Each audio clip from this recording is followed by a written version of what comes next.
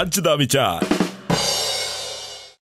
ਸਤਿ ਸ਼੍ਰੀ ਅਕਾਲ ਜੀ। ਪ੍ਰਾਈਮ ਏਸ਼ੀਆ ਟੀਵੀ ਤੇ ਪ੍ਰੋਗਰਾਮ ਚੱਜ ਦਾ ਵਿਚਾਰ ਵੇਖ ਰਹੇ ਹੋ ਤੁਸੀਂ ਤੇ ਅੱਜ ਅਸੀਂ ਲਗਾਤਾਰ ਤੁਹਾਨੂੰ ਬਰਕਰਾਰ ਰੱਖਦੇ ਹੋਏ ਦੁਬਾਰਾ ਤੋਂ ਹਾਜ਼ਰ ਹੋਏ ਹਾਂ। ਮੈਂ ਹਰਮਨ ਥਿੰਦ ਮੇਰੇ ਨਾਲ ਸਵਰਨ ਸਿੰਘ ਟੈਣਾ ਤੇ ਨਾਲ ਸਾਡੇ ਨੇ ਮਨਮੋਹਨ ਵਾਰਿਸ। ਬਿਲਕੁਲ। ਹਰਮਨ ਜੀ ਕੱਲ ਨਾ ਜਦੋਂ ਪ੍ਰੋਗਰਾਮ ਦੀ ਆਪਾਂ ਸਮਾਪਤੀ ਕੀਤੀ ਹਾਂਜੀ। ਮੇਰੇ ਮਨ ਦੇ ਵਿੱਚ ਬੜੇ ਵਿਚਾਰ ਉਮੜਦੇ ਸੀਗੇ। ਬਿਲਕੁਲ ਠੀਕ। ਮੈਂ ਕਿਹਾ ਵੀ ਕਿੰਨੀਆਂ ਗੱਲਾਂ। ਵੈਸੇ ਤਾਂ ਭਾਵੇਂ ਅਸੀਂ 10 ਕਿਸ਼ਤਾਂ ਕਰ ਲਈਏ ਤਾਂ ਵੀ ਨਹੀਂ ਮੁੱਕਣੀ 20 ਕਰ ਲਈਏ ਬਿਲਕੁਲ ਕਿਉਂਕਿ। ਦੇਖੋ 2.5 ਦਹਾਕੇ ਦਾ ਸਫ਼ਰ ਆ ਜਿਹੜਾ ਉਹ ਤੁਸੀਂ ਥੋੜੇ ਜਿਹੇ ਸਮੇਂ ਦੇ ਵਿੱਚ ਕੈਦ ਨਹੀਂ ਕਰ ਸਕਦੇ। ਇਸ ਕਰਕੇ ਨਾ ਉਹ ਗੱਲਾਂ ਜਿਹੜੀਆਂ ਮੇਰਾ ਵੀ ਦਿਲ ਕਰਦਾ ਪੁੱਛੀਏ ਤੇ ਜਿਹੜਾ ਮੇਰਾ ਖਿਆਲ ਆ ਵੀ ਸਾਡੇ ਸਾਰੇ ਦਰਸ਼ਕ ਆ ਜਿਹੜੇ ਉਹ ਸੋਚਦੇ ਹੋਣਗੇ ਕਿ ਪੰਜਾਬੀ ਵਿਰਸਾ ਜਿਹੜਾ ਇਹਦੀ ਉਤਪਤੀ ਕਿਵੇਂ ਹੋਈ ਹਾਂ, ਬਿਲਕੁਲ ਪਲਾਜ਼ਮਾ। ਰਿਕਾਰਡ ਆ ਜਿਹੜੀ ਉਹ ਕਿਵੇਂ। ਸਿਰੇ ਦੀ ਸੰਗੀਤ ਕੰਪਨੀ ਬਣੀ। ਤਿੰਨਾਂ ਭਰਾਵਾਂ ਨੇ ਪੰਜਾਬੀ ਗਾਇਕੀ ਦੇ ਵਿੱਚ ਸਮੁੱਚਾ ਯੋਗਦਾਨ ਕਿਵੇਂ ਪਾਇਆ ਦੇਖੋ ਸਭ ਤੋਂ ਵੱਡੀ ਗੱਲ ਤਾਂ ਮੈਂ ਵਾਰਿਸ ਸਾਹਿਬ ਤੁਹਾਨੂੰ ਕਹਿਣਾ ਚਾਹੁੰਦੀ ਆ ਵੀ ਇਹ ਵਾਕਈ ਇੱਕ ਤੋਹਫਾ ਹੈ ਕਿ ਤੁਸੀਂ ਤਿੰਨੋਂ ਇੱਕ ਰਾਹ ਦੇ ਉੱਪਰ ਤੁਰ ਰਹੇ ਹੋ ਤੇ ਅੱਜ ਦੇ ਜ਼ਮਾਨੇ 'ਚ ਇੱਕ ਹੋਰ। ਤੋਹਫਾ ਉਹ ਇਹ ਆ ਵੀ ਇਹ ਸੀਡੀ ਦੇ ਨਾਲੋਂ ਲਾਈਵ ਦੇ ਉੱਤੇ। ਕਿੰਨਾ ਧਿਆਨ ਕੇਂਦਰਿਤ ਕੀਤਾ। ਸਹੀ ਗੱਲ। ਇਹਨਾਂ ਨੇ ਬਹੁਤ ਸਾਰੇ ਗੀਤ ਆ ਨਾ ਜਿਹੜੇ ਉਹਦੇ ਵਿੱਚ ਜ਼ਿਕਰ ਵੀ ਕੀਤਾ ਤੇ ਫਿਕਰ ਵੀ ਕੀਤਾ ਵੀ ਜਿਹੜੇ ਸਾਡੇ ਪੰਜਾਬ ਦੇ ਕਲਾਕਾਰ ਭਾਈਚਾਰੇ ਦੇ ਆ ਸੱਜਣ ਸੁਹੇਲੜੇ ਉਹਨਾਂ ਦੇ ਵੱਲੋਂ ਕਿਉਂ ਨਹੀਂ ਗਾਇਆ ਜਾਂਦਾ ਲਾਈਵ ਕਿਉਂਕਿ ਅਸੀਂ ਸੀਡੀ ਦੇ ਉੱਤੇ ਬੁੱਲ ਜਿਹੜੇ ਹਲਾਉਨੇ ਆ। ਨੋਟ ਅਸਲੀ ਹੁੰਦੇ ਆ। ਬੋਲ ਨਕਲੀ ਹੁੰਦੇ ਆ ਹੈਨਾ?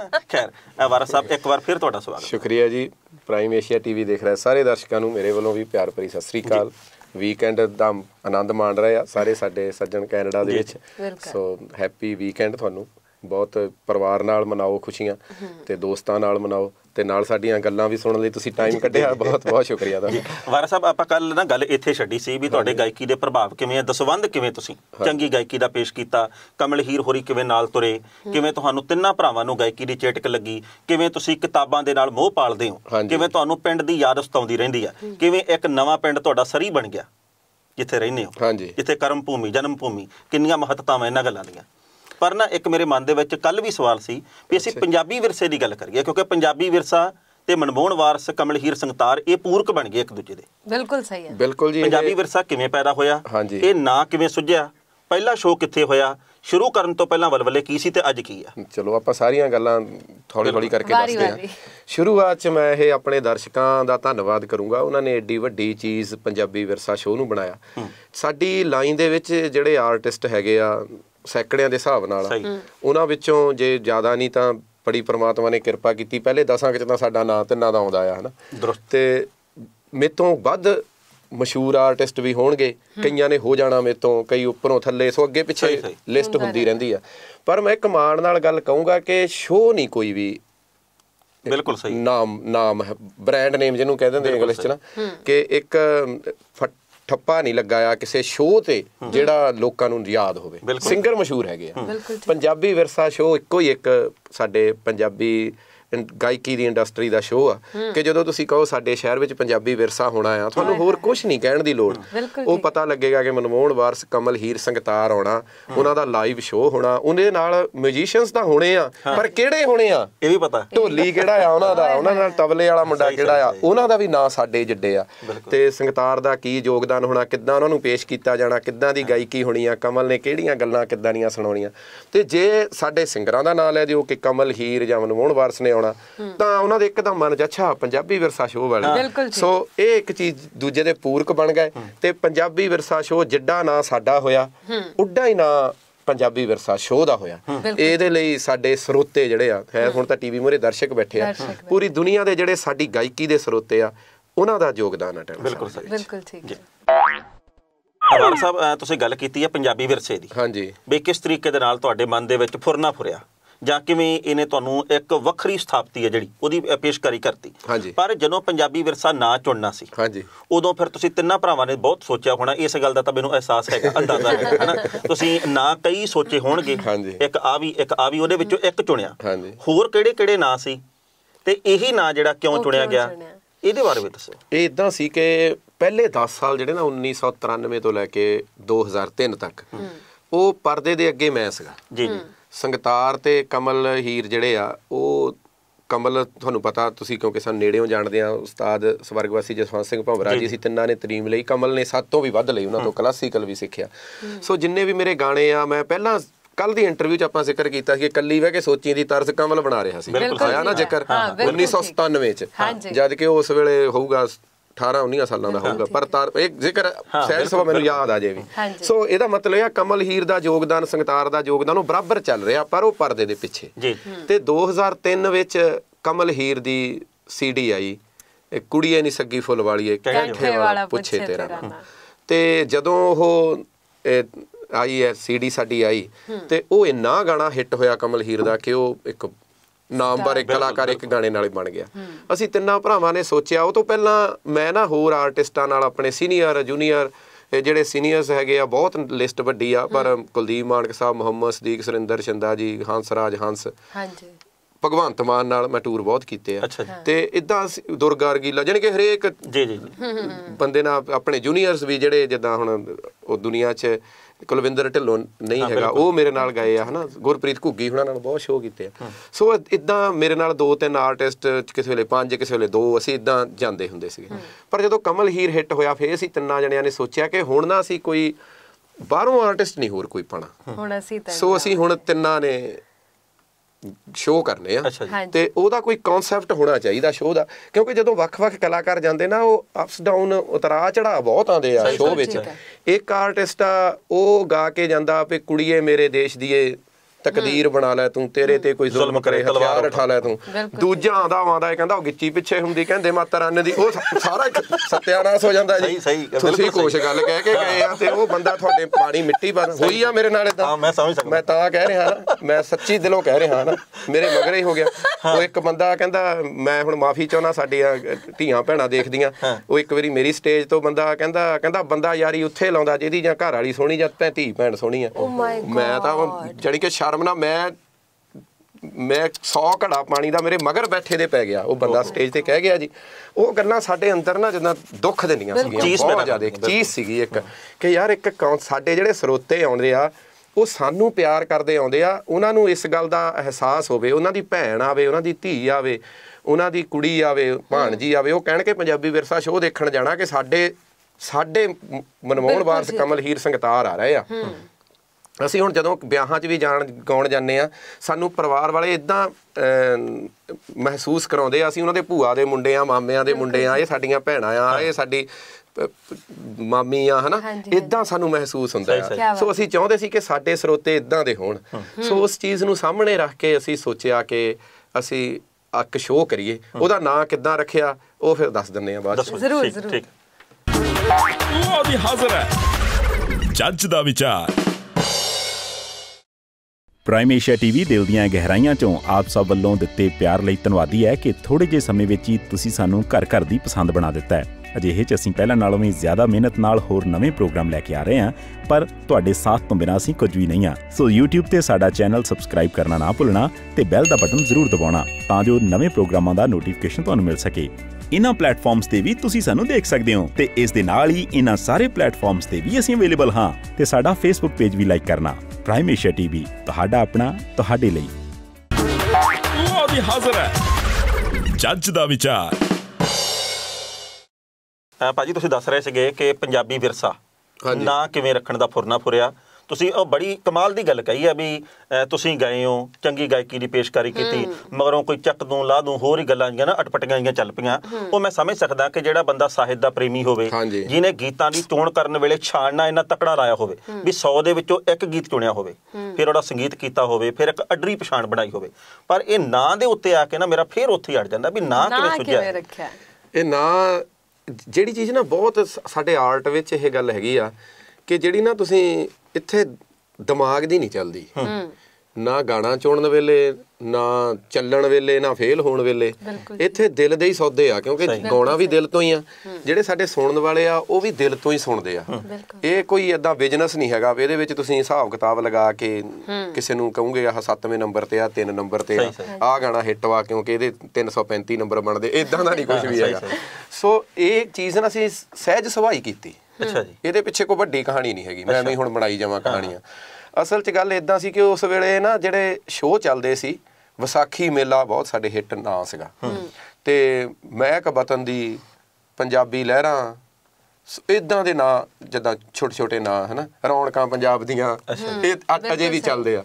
ਪਰ ਇੱਕ ਮੈਨੂੰ ਅੱਜ ਤੱਕ ਵੀ ਮੇਰੇ ਇਹ ਦੋਸਤ ਹੀ ਆ ਜਿਹਨੇ ਸ਼ੋਅ ਕਰਾਇਆ ਸੀ ਮੈਨੂੰ ਅੱਜ ਤੱਕ ਇੱਕ ਵਾਰੀ ਹੈਰਾਨੀ ਆ। ਉਹਦੇ ਵਿੱਚ ਜੁੱਧਵੀਰ ਮਾਨਕ ਵੀ ਗਿਆ ਸੀ ਉਹਨੇ ਸ਼ੋਅ ਦਾ ਨਾਂ ਰੱਖਿਆ ਸੀ ਪਾਣੀ ਵਿੱਚ ਮਧਾਣੀ ਮੈਨੂੰ ਉਹ ਨਹੀਂ ਸਮਝ ਆਇਆ।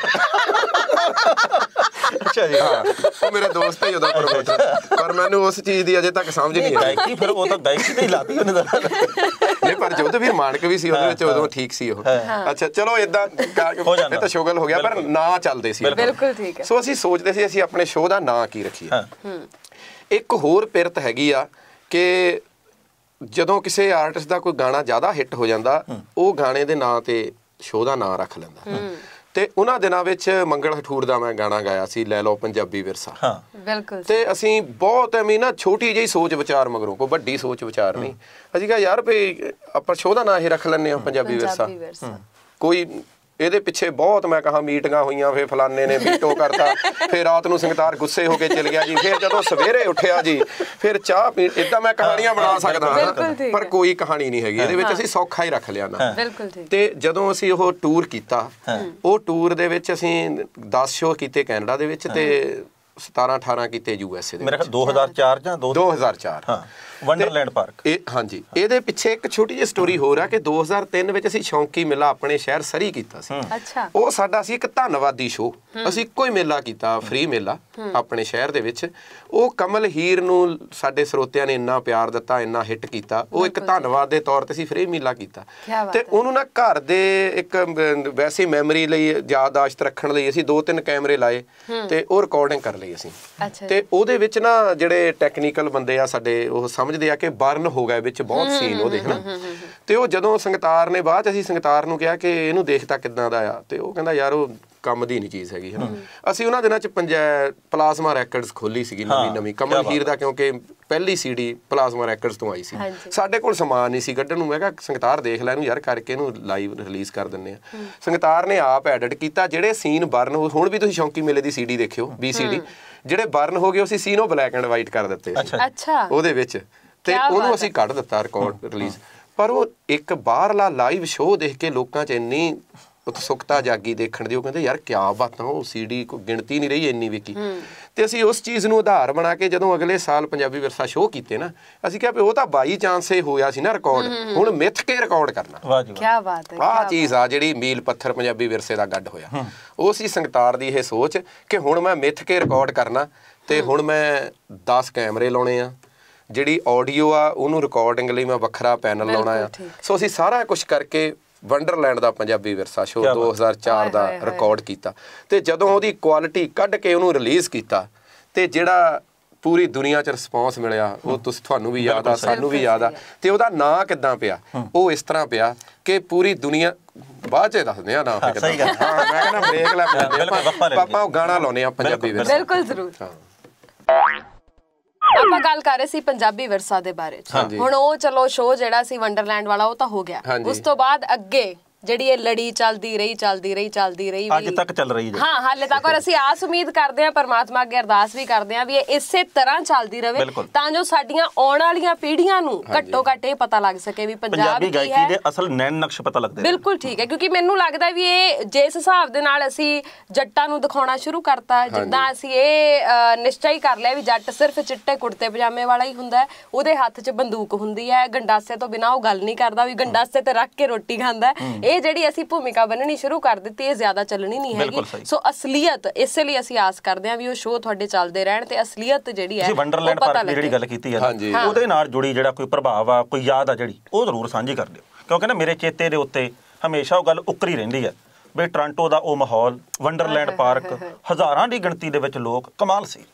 ਉਹ ਤਾਂ ਸੋਚਿਆ ਹੀ ਹਰ ਵੇਲੇ ਲਫ਼ਜ਼ ਨਹੀਂ ਹੈਗੇ ਮੇਰੇ ਕੋਲ। ਜੋ ਪਿਆਰ ਮਿਲਿਆ। ਜਦੋਂ ਮੈਂ ਉਹਦੇ ਨਾ ਤੁਸੀਂ ਜੇ ਦੁਬਾਰਾ ਫੇਰ ਦੇਖਿਓ ਜਦੋਂ ਆਖਰੀ ਗਾਣਾ ਗਾਇਆ ਨਾ ਆਜਾ ਭਾਬੀ ਝੂਟ ਲੈ ਪੀਂਘ ਲਾਰੇ ਲੈਂਦੀ ਉਹਦੇ ਵਿੱਚ ਨਾ ਇਹ ਜਿੱਦਾਂ 15000 ਬੰਦੇ ਦੇ ਨਾ ਬੈਠਣ ਲਈ ਉੱਤੇ ਛੱਤ ਹੈਗੀ ਆ। ਬਾਕੀ ਦੁਨੀਆ ਬਾਹਰ ਖੜਦੀ ਆ। ਤੇ ਉਹ ਐਂਡ ਤੇ ਮੀਂਹ ਆ ਗਿਆ ਸੀ। ਅੱਛਾ ਜੀ। ਬਾਰਿਸ਼ ਆ ਗਈ ਸੀਗੀ। ਜਦੋਂ ਅੱਜ ਕੰਮ ਬਾਅਦ ਸਾਵਣ ਚੜਿਆ ਤੀਆਂ ਆਈਆਂ ਜਦੋਂ ਗਾਇਆ ਆ ਨਾ ਤਾਂ ਸੱਚੀ ਵੀ ਮੀਂਹ ਪੈ ਰਿਹਾ। ਹੈ ਤੇ ਤੇ ਉਹ ਜਿਹੜੇ ਫਿਰ ਦੂਰ ਲੋਕ ਖੜੇ ਸੀ ਉਹ ਵੀ ਫਿਰ ਜਿੱਦਾਂ 15000 ਦੇ ਵਿੱਚੇ ਹੀ ਵੜ ਗਿਆ ਜਿਹੜੇ 40 50000 ਬੰਦੇ ਸੀ ਹੋਰ ਰਸ਼ ਪੈ ਗਿਆ ਹਨਾ। ਉਹ ਮਾਹੌਲ ਹੀ ਵੱਖਰਾ ਸੀਗਾ। ਪਰ ਜਦੋਂ ਉਹ ਰਿਲੀਜ਼ ਹੋਇਆ ਉਹ ਇੰਨਾ ਜ਼ਿਆਦਾ ਪਸੰਦ ਕੀਤਾ ਲੋਕਾਂ ਨੇ। ਉਦੋਂ ਆ ਫੇਸਬੁੱਕ ਟਵਿੱਟਰ ਇੰਸਟਾਗ੍ਰਾਮ ਇਹ ਤਾਂ ਹੁੰਦੇ ਨਹੀਂ ਸੀਗੇ। ਤੇ ਫੋਨ ਹੁੰਦੇ ਸੀ ਜਾਂ ਚਿੱਠੀਆਂ ਸੀਗੀਆਂ ਦਫ਼ਤਰ। ਸੋ ਪੂਰੀ ਦੁਨੀਆ ਦੇ ਜਿਹੜੇ ਸਾਡੇ ਸਰੋਤੇ ਆ ਉਹ ਸਾਨੂੰ ਪੁੱਛਦੇ ਆ ਵੀ ਸਾਡੇ ਸ਼ਹਿਰ 'ਚ ਪੰਜਾਬੀ ਵਿਰਸਾ ਕਦੋਂ ਹੋਣਾ ਆ ਆ ਗੱਲ ਇਹ ਹੁਣ ਸੋਚ। ਸਮਝ ਕੇ ਨਹੀਂ ਹੋਈ। ਬਿਲਕੁਲ ਠੀਕ ਮੈਂ ਇੱਥੇ ਇਹ ਤਾਂ ਨਹੀਂ ਇਸ ਗੱਲ ਨੂੰ ਵੱਡੀ ਬਣਾਇਆ ਵੀ ਐਵੇਂ ਆਪਣੀ ਪ੍ਰਾਪਤੀ ਇਹ ਸਹਿਜ ਸੁਭਾਅ ਹੋ ਗਈ। ਸਾਨੂੰ ਉਸੇ ਵੇਲੇ ਇੰਗਲੈਂਡ ਤੋਂ ਪੰਜਾਬੀ ਵਿਰਸਾ ਸਾਡੇ ਕਰਨਾ ਹੁਣ ਹਨਾ ਅਗਲੀ ਵਾਰੀ ਹਨਾ। ਸੋ ਅਸੀਂ ਕਿਹਾ ਚਲੋ ਕਰ ਲੈਨੇ ਆ ਅਸੀਂ ਉੱਥੇ ਸੱਤ ਸ਼ੋਅ ਕੀਤੇ। ਵੈਂਬਲੇ ਰੀਨਾ ਪੂਰੀ ਦੁਨੀਆ ਦਾ ਨਾਮਵਰ ਹਾਲ ਆ ਜਿੱਥੇ ਹਾਲੀਵੁੱਡ ਦੇ ਵੀ ਸਾਰੇ ਵੱਡੇ ਆਰਟਿਸਟ ਗਾਉਂਦੇ ਆ। ਉੱਥੇ ਅਸੀਂ ਰਿਕਾਰਡ ਕੀਤਾ। ਮੈਂ ਕੱਲ ਗਾਣਾ ਸੁਣਾਇਆ ਸੀ ਬੱਚਿਆਂ ਨੂੰ ਦੱਸਿਓ ਪੰਜਾਬ ਪੰਜਾਬ ਜਿਹਨੂੰ ਕਹਿੰਦੇ ਨੇ। ਕਿਹਨੂੰ। ਕਮਲ ਹੀਰ ਨੇ ਗਾਇਆ ਸੀ ਹੱਥ ਵਿੱਚ ਪਾਇਆ ਕੜਾ ਹੋਵੇ ਪਹਿਚਾਨ ਪੰਜਾਬੀ ਦੀ। ਡਰ ਕੇ ਨਾ ਚੜ ਹੋਵੇ ਪੌੜੀ ਪਿਆਰ ਦੀ ਗੱਲ ਬਣੂ ਬਣੂ ਬਹੁਤ ਹਿੱਟ ਗਾਣੇ। ਉਹ ਗਾਣੇ ਉਹ ਵੰਡਰ ਉਹ ਦੂਜੇ ਸਾਲ 1995 ਦੇ ਵਿੱਚ ਉਹ ਵੈਂਬਲੇ ਰੀਨਾ ਲੰਡਨ ਦੇ ਗਾਏ ਹੋਏ ਆ। ਤੇ ਜਦੋਂ ਉਹ ਰਿਲੀਜ਼ ਹੋਇਆ ਤੇ ਉਹ ਉਹ ਤੋਂ ਵੀ ਜ਼ਿਆਦਾ ਚੱਲਿਆ ਗਾਣਾ ਉਹ ਤਾਂ ਅੱਜ ਤੱਕ ਹਿੱਟ ਗਾਣੇ ਆ ਸਾਰੇ। ਤੇ ਉਹ ਤੋਂ ਬਾਅਦ ਫਿਰ ਅਸੀਂ ਅਗਲੇ ਸਾਲ 96 ਵਿੱਚ ਅਹ, 2006 ਵਿੱਚ ਫਿਰ ਅਸੀਂ ਟੋਰਾਂਟੋ ਦਾ ਰਿਕਾਰਡ ਕੀਤਾ। ਤੇ ਉਹ ਫਿਰ ਜਿਹੜੇ ਸਾਡੇ ਸਰੋਤੇ ਆ ਉਹਨਾਂ ਨੇ ਇਹ ਨਾਂ ਦਿੱਤਾ। ਜਦੋਂ ਅਸੀਂ ਪਹਿਲੀ ਵਾਰੀ ਰਿਲੀਜ਼ ਕੀਤਾ ਸਾਡੀ ਲਾਈਨ ਦੇ ਕਈ ਆਰਟਿਸਟ ਕਹਿੰਦੇ ਯਾਰ ਜੇ ਇਦਾਂ ਇਹਨਾਂ ਨੇ ਆਪਣਾ ਰਿਕਾਰਡ ਕਰਕੇ ਲੋਕਾਂ ਨੂੰ ਦਿਖਾ ਲਈ ਦੇਣਾ ਵੀ ਅਸੀਂ ਇਦਾਂ ਦਾ ਗਾਇਆ ਲੋਕਾਂ ਨੇ ਤਾਂ ਦੇਖ ਲਿਆ ਫਿਰ ਇਹਨਾਂ ਨੂੰ ਦੇਖਣ ਕੌਣ ਜਾਊਗਾ? ਉਹਨਾਂ ਨੂੰ ਜਵਾਬ? ਮਿਲ ਗਿਆ। ਤੇ ਸਾਨੂੰ ਵੀ ਲੱਗਾ ਯਾਰ ਪਤਾ ਨਹੀਂ ਕਿੱਦਾਂ ਹਨਾ? ਪਰ ਮੈਂ ਜਿਹੜੀ ਗੱਲ ਕਹਿਣਾ ਕਿ ਕੁਝ ਵੀ ਤੁਸੀਂ ਨਾ ਇਹਦੇ ਵਿੱਚ ਦੱਸ ਨਹੀਂ ਸਕਦੇ ਭਵਿੱਖ ਕਿੱਦਾਂ ਦਾ। ਪਰ ਇਸ ਵੇਲੇ ਸਾਰੇ ਮੇਰੇ ਜਿਹੜੇ ਸਮਕਾਲੀ ਕਲਾਕਾਰ ਆ ਜਿਹੜੇ ਚੱਲ ਵੀ ਰਹੇ ਆ ਜਾਂ ਕੋਈ। ਹੋਰ ਕੰਮਾਂ 'ਚ ਵੀ ਉਹ ਕਹਿ ਦਿੰਦੇ ਆ ਤੁਹਾਡੀ ਜਿਹੜੀ ਉਮਰ ਆ ਤਿੰਨਾਂ ਭਰਾਵਾਂ ਦੀ ਗਾਇਕੀ ਦੀ ਉਮਰ ਪੰਜਾਬੀ ਵਿਰਸੇ ਨੇ ਲੰਬੀ ਕਰਤੀ। ਵਾਹ ਜੀ ਵਾਹ, ਕੀ ਮੈਂ ਕਿਹਾ ਮੈਂ ਕਿਹਾ। ਸ਼ੁਕਰੀਆ ਤੁਹਾਡਾ ਬਿਲਕੁਲ। ਭਰਾਵੋ। ਕਿਆ ਬਾਤ। ਬਹੁਤ ਧੰਨਵਾਦ ਤੁਹਾਡਾ। ਇੱਕ ਲੀ ਸਾਡੀ ਵੱਖਰੀ ਹੋ ਗਈ ਜੀ। ਹੁਣ ਕਿਸੇ ਨਾਲ। ਮੁਕਾਬਲਾ ਨਹੀਂ ਰਿਹਾ ਬਿਲਕੁਲ ਹੈ ਨਹੀਂਗਾ ਬੰਦੇ ਦਾ ਮੁਕਾਬਲਾ ਖੁਦ ਨਾਲ ਆ ਤੇ ਵਾਰਸ ਸਾਹਿਬ ਨੇ ਤੇ ਇਹਨਾਂ ਦੀ ਸਮੁੱਚੀ ਟੀਮ ਨੇ ਨਾ ਜਿਹੜਾ ਉਹ ਖੁਦ ਨਾਲ ਮੁਕਾਬਲਾ ਜਾਰੀ ਰੱਖਿਆ ਕਿਸੇ ਦੇ ਨਾਲ ਨਹੀਂ। ਗੱਲ। ਤੁਸੀਂ ਨਾ ਗੱਲ ਕੀਤੀ ਸੀ ਸਾਵਣ ਚੜਿਆ ਤੀਆਂ ਆਈਆਂ। ਹਾਂਜੀ। ਤਾਂ ਮੇਰਾ ਦਿਲ ਕਰਦਾ ਵੀ ਉਹ ਇੱਕ ਮਾਹੌਲ ਸਿਰਜਿਆ ਜਾਵੇ ਸਰ ਹੈ ਨਾ? ਸਾਵਣ ਚੜਿਆ ਤੀਆਂ ਆਈਆਂ। ਪਿੱਪਲਾਂ ਦੇ ਨਾਲ ਪੀਂਗਾ ਪਾਈਆਂ। ਇਕੱਠੀਆਂ ਹੋ ਨਣਦਾਂ ਪਰਜਾਈਆਂ। ਇੱਕ ਦੂਜੀ ਨੂੰ ਕਹਿੰਦੀ ਨੀ, ਆ ਜਾ ਭਾਬੀ। ਨੀ ਆ ਜਾ ਭਾਬੀ ਝੂਟ ਲੈ ਪੀਂਗ ਹੁਲਾਰੇ ਲੈਂਦੀ। ਨੀ ਆ ਜਾ ਨਣਦੇ ਝੂਟ ਲੈ ਪੀਂਗ ਹੁਲਾਰੇ ਲੈਂਦੀ। ਕੀ ਬਾਤ ਆ। ਇੱਕ ਐਸਾ ਹੁਲਾਰਾ ਆਇਆ ਗਾਣਾ ਸੁਣ ਕੇ। ਸ਼ੁਕਰੀਆ ਜੀ। ਕਮਾਲ ਹੋ ਗਈ। ਨਾਲੇ ਮੈਂ ਦੱਸਾਂ ਤੁਹਾਨੂੰ ਕੈਨੇਡਾ ਦੇ ਵਿੱਚ ਸਾਡੇ ਇਸ ਵੇਲੇ ਸਰੋਤੇ ਜ਼ਿਆਦਾ ਦਰਸ਼ਕ ਸੁਣ ਰਹੇ ਆ। ਉੱਥੇ ਨਾ ਜਿਹੜਾ ਸਿਆਲ ਆ ਸਾਡਾ ਉਹ ਨਾ ਮੀਂਹ ਪਿਆ ਪਈ ਜਾਂਦਾ। ਸਹੀ, ਸਹੀ। ਉਹ ਉੱਥੇ ਸਿੱਲਾ ਮੌਸਮ ਆ। ਸੋ ਉੱਥੇ ਰੋਜ਼ ਹੀ ਸਾਵਣ ਚੜਿਆ ਤੀਆਂ ਹੀ ਆਈਆਂ ਹੁੰਦੀਆਂ ਰੋਜ਼। ਹੀ ਕੂੜੇ ਪੱਕਦੇ ਸਹੀ ਆ ਸਹੀ ਹੈ, ਹਾਜ਼ਰ ਹੈ ਜੱਜ ਦਾ ਵਿਚਾਰ ਪ੍ਰਾਈਮ ਏਸ਼ੀਆ ਟੀਵੀ ਦਿਲ ਦੀਆਂ ਗਹਿਰਾਈਆਂ ਚੋਂ ਆਪ ਸਭ ਵੱਲੋਂ ਦਿੱਤੇ ਪਿਆਰ ਲਈ ਧੰਨਵਾਦੀ ਹੈ ਕਿ ਥੋੜੇ ਜਿਹੇ ਸਮੇਂ ਵਿੱਚ ਹੀ ਤੁਸੀਂ ਸਾਨੂੰ ਘਰ ਘਰ ਦੀ ਪਸੰਦ ਬਣਾ ਦਿੱਤਾ ਹੈ। ਅਜਿਹੇ 'ਚ ਅਸੀਂ ਪਹਿਲਾਂ ਨਾਲੋਂ ਵੀ ਜ਼ਿਆਦਾ ਮਿਹਨਤ ਨਾਲ ਹੋਰ ਨਵੇਂ ਪ੍ਰੋਗਰਾਮ ਲੈ ਕੇ ਆ ਰਹੇ ਹਾਂ ਪਰ ਤੁਹਾਡੇ ਸਾਥ ਤੋਂ ਬਿਨਾਂ ਅਸੀਂ ਕੁਝ ਵੀ ਨਹੀਂ ਹਾਂ। ਸੋ YouTube ਤੇ ਸਾਡਾ ਚੈਨਲ ਸਬਸਕ੍ਰਾਈਬ ਕਰਨਾ ਨਾ ਭੁੱਲਣਾ ਤੇ ਬੈਲ ਦਾ ਬਟਨ ਜ਼ਰੂਰ ਦਬਾਉਣਾ ਤਾਂ ਜੋ ਨਵੇਂ ਪ੍ਰੋਗਰਾਮਾਂ ਦਾ ਨੋਟੀਫਿਕੇਸ਼ਨ ਤੁਹਾਨੂੰ ਮਿਲ ਸਕੇ। ਇਹਨਾਂ ਪਲੇਟਫਾਰਮਸ ਤੇ ਵੀ ਤੁਸੀਂ ਸਾਨੂੰ ਦੇਖ ਸਕਦੇ ਹੋ ਤੇ ਇਸ ਦੇ ਨਾਲ ਹੀ ਇਹਨਾਂ ਸਾਰੇ ਪਲੇਟਫਾਰਮਸ ਤੇ ਵੀ ਅਸੀਂ ਅਵੇਲੇਬਲ ਹਾਂ ਤੇ ਸਾਡਾ ਫੇਸਬੁੱਕ ਪੇਜ ਵੀ ਲਾਈਕ ਕਰਨਾ ਪ੍ਰਾਈਮ ਏਸ਼ੀਆ ਟੀਵੀ ਤੁਹਾਡਾ ਆਪਣਾ, ਤੁਹਾਡੇ ਲਈ। ਲਓ ਵੀ ਹਾਜ਼ਰ ਹੈ। ਜੱਜ ਦਾ ਵਿਚਾਰ। ਪ੍ਰਾਈਮ ਏਸ਼ੀਆ ਟੀਵੀ ਤੇ ਚਾਹ ਦਾ ਵਿਚਾਰ ਪ੍ਰੋਗਰਾਮ ਵੇਖ ਰਹੇ ਹੋ ਤੁਸੀਂ। ਮਨਮੋਹਨ ਵਾਰਿਸ ਸਵਰਨ ਸਿੰਘ ਟਾਣਾ ਤੇ ਹਰਮਨ ਥਿੰਦ ਦੇ ਨਾਲ ਤੇ ਅੱਜ ਦਾ ਸਾਡਾ ਚਾਹ ਦਾ ਪ੍ਰੋਗਰਾਮ ਜਿਹੜਾ ਹੈ ਚਾਹ ਦਾ ਵਿਚਾਰ। ਵੇਖੋ ਮੈਂ ਪ੍ਰੋਗਰਾਮ ਇੰਨਾ ਜ਼ਿਆਦਾ ਰੁੱਝ ਗਈ ਹਾਂ ਹਾਂ। ਕਿ ਮੈਨੂੰ ਆਪਦੇ ਪ੍ਰੋਗਰਾਮ ਦਾ ਨਾਂ ਹੀ ਭੁੱਲੀ ਇਹਨੂੰ ਜਾਂਦਾ ਕਹਿੰਦੇ ਮਸਰੂਫੀਅਤ। ਮਸਰੂਫੀਅਤ ਬਿਲਕੁਲ ਸਹੀ। ਪਰ ਹੈ ਇਹ ਮੇਰੇ ਲਈ ਬੜੀ ਖੁਸ਼ੀ ਦੀ ਗੱਲ ਆ। ਨਹੀਂ ਇਹ ਤੁਹਾਡੇ ਨਾਲ ਨਹੀਂ ਵੱਧ ਮੇਰੀ ਸਾਡੇ ਖੁਸ਼ੀ ਲਈ ਹੈ। ਕਿੱਦਾਂ ਆ? ਚੱਜ ਦਾ ਵਿਚਾਰ ਤੁਹਾਡੇ ਸ਼ੋਅ ਦਾ ਨਾਂ ਆ। ਬਹੁਤ। ਪਿਆਰਾ ਸ਼ੋਅ। ਅਸੀਂ ਬਹੁਤ ਸਾਰੇ ਸਾਡਾ ਪਰਿਵਾਰ ਸਾਰੇ। ਦੇਖਦੇ ਆ। ਪਰ ਤੁਸੀਂ ਕਿਹਾ ਅੱਜ ਦਾ ਚੱਜ ਦਾ ਪ੍ਰੋਗਰਾਮ। ਸੋ ਮੈਨੂੰ ਖੁਸ਼ੀ ਹੋਈ। ਮੈਂ ਕਿਹਾ ਮੇਰੇ ਆਉਣ ਦਾ ਪ੍ਰੋਗਰਾਮ ਚੱਜ ਦਾ ਬਣ ਗਿਆ। ਸੱਚੀ ਗੱਲ ਆ ਮੈਂ ਇਹੀ ਕਹਿਣ ਲੱਗੀ ਸੀ ਵੀ ਅੱਜ ਦਾ ਦਾ ਵਿਚਾਰ ਵਾਕਈ ਚੱਜ ਦਾ ਪ੍ਰੋਗਰਾਮ ਬਣ ਗਿਆ ਸੀ, ਬਿਲਕੁਲ। ਤੁਹਾਡੀ ਤੁਸੀਂ, ਖਾਤਰ ਹੀ ਇਹ ਵਧਾਈ ਦੇ ਹੱਕਦਾਰ ਆ ਹਰਮਨ ਜੀ ਤੁਸੀਂ ਟੈਣਾ ਸਾਹਿਬ। ਕਿ ਅੱਜ ਦਾ ਵਿਚਾਰ ਤਾਂ ਬਹੁਤ ਪ੍ਰੋਗਰਾਮ ਚੱਲਦੇ ਆ। ਉਹ ਜੋ ਵੀ ਗੱਲ ਹੁੰਦੀ ਆ ਉਹਦੇ ਤੇ ਆਪਾਂ ਗੱਲ ਕਰ ਲੈਂਦੇ ਆ। ਚੱਜ ਦੀ ਗੱਲ ਦੱਸਣੀ ਬਹੁਤ ਔਖੀ ਆ। ਬਿਲਕੁਲ ਸਹੀ। ਜੇ ਚੱਜ ਦੀ ਗੱਲ ਉਹੀ ਦੱਸ ਸਕਦਾ ਜਿਹੜਾ ਪਹਿਲਾਂ ਜਿਹਦਾ ਦਿਲ ਵੀ ਸਾਫ਼ ਹੋਵੇ ਜਿਹੜਾ ਬੰਦਾ ਆਪ ਨਹੀਂ ਗੁੜ ਖਾਂਦਾ ਉਹੀ ਦੂਜੇ ਨੂੰ ਕਹਿ ਸਕਦਾ ਕਿ ਬੇਟਾ ਨਹੀਂ ਖਾਈਦਾ। ਜੇ ਮੈਂ ਹੁਣ ਗਾਇਆ ਕਹਿੰਦੇ ਨੇ ਸਿਆਣੇ ਗੱਲਾਂ ਸੱਚੀਆਂ ਖਾਧੀਆਂ ਖਰਾਕਾਂ ਕੰਮ ਆਉਣੀਆਂ। ਨਸ਼- ਨਾ ਕਰੋ ਹਨਾ? ਜੇ ਮੈਂ ਆਪ ਰੋਜ਼ ਹੀ ਡਿੱਗਿਆ ਰਵਾਂ ਹਨਾ ਆਪ ਨਸ਼ੇ ਕਰਦਾ ਹੋਵਾਂ ਹਨਾ? ਜੇ। ਮੈਂ ਰਾਤ ਨੂੰ ਕੋਕ ਪੀ ਲਵਾਂ ਚਾਹ ਕੌਫੀ ਪੀ ਲਵਾਂ ਮੈਨੂੰ ਨੀਂਦ ਨਹੀਂ ਆਉਂਦੀ ਤੇ ਮੈਂ ਆਪ ਨਹੀਂ ਨਸ਼ੇ ਕਰਦਾ ਤੇ ਤਾਂ ਮੈਨੂੰ ਇੱਕ ਵੈਦ ਕਹਿੰਦਾ ਮਿੱਤਰ ਕਹਿੰਦਾ ਤੈਨੂੰ ਤੇਰੇ ਤੈਨੂੰ ਕੋਈ ਦਵਾਈ ਦੇਣੀ? ਮੈਂ ਕਿਹਾ ਮੈਨੂੰ ਠੀਕ ਆ ਮੈਂ ਅਜੇ ਬਿਮਾਰ ਨਹੀਂ ਕਹਿੰਦਾ ਫੇਰ ਵੀ ਤਾਕਤ ਵਾਲੀ ਦੇ ਦਿੰਦੇ ਆ। ਮੈਨੂੰ ਪਰ ਅਸਲੀ ਗੱਲ ਕਿਹੜੀ ਆ? ਮੈਂ ਆਪਣੇ ਸਰੋਤਿਆਂ ਨਾਲ ਇੱਕ ਦਿਲ ਦੀ ਗੱਲ ਸਾਂਝੀ ਕਰਦਾ ਆਪਣਾ ਪਰਸਨਲ ਗੱਲ।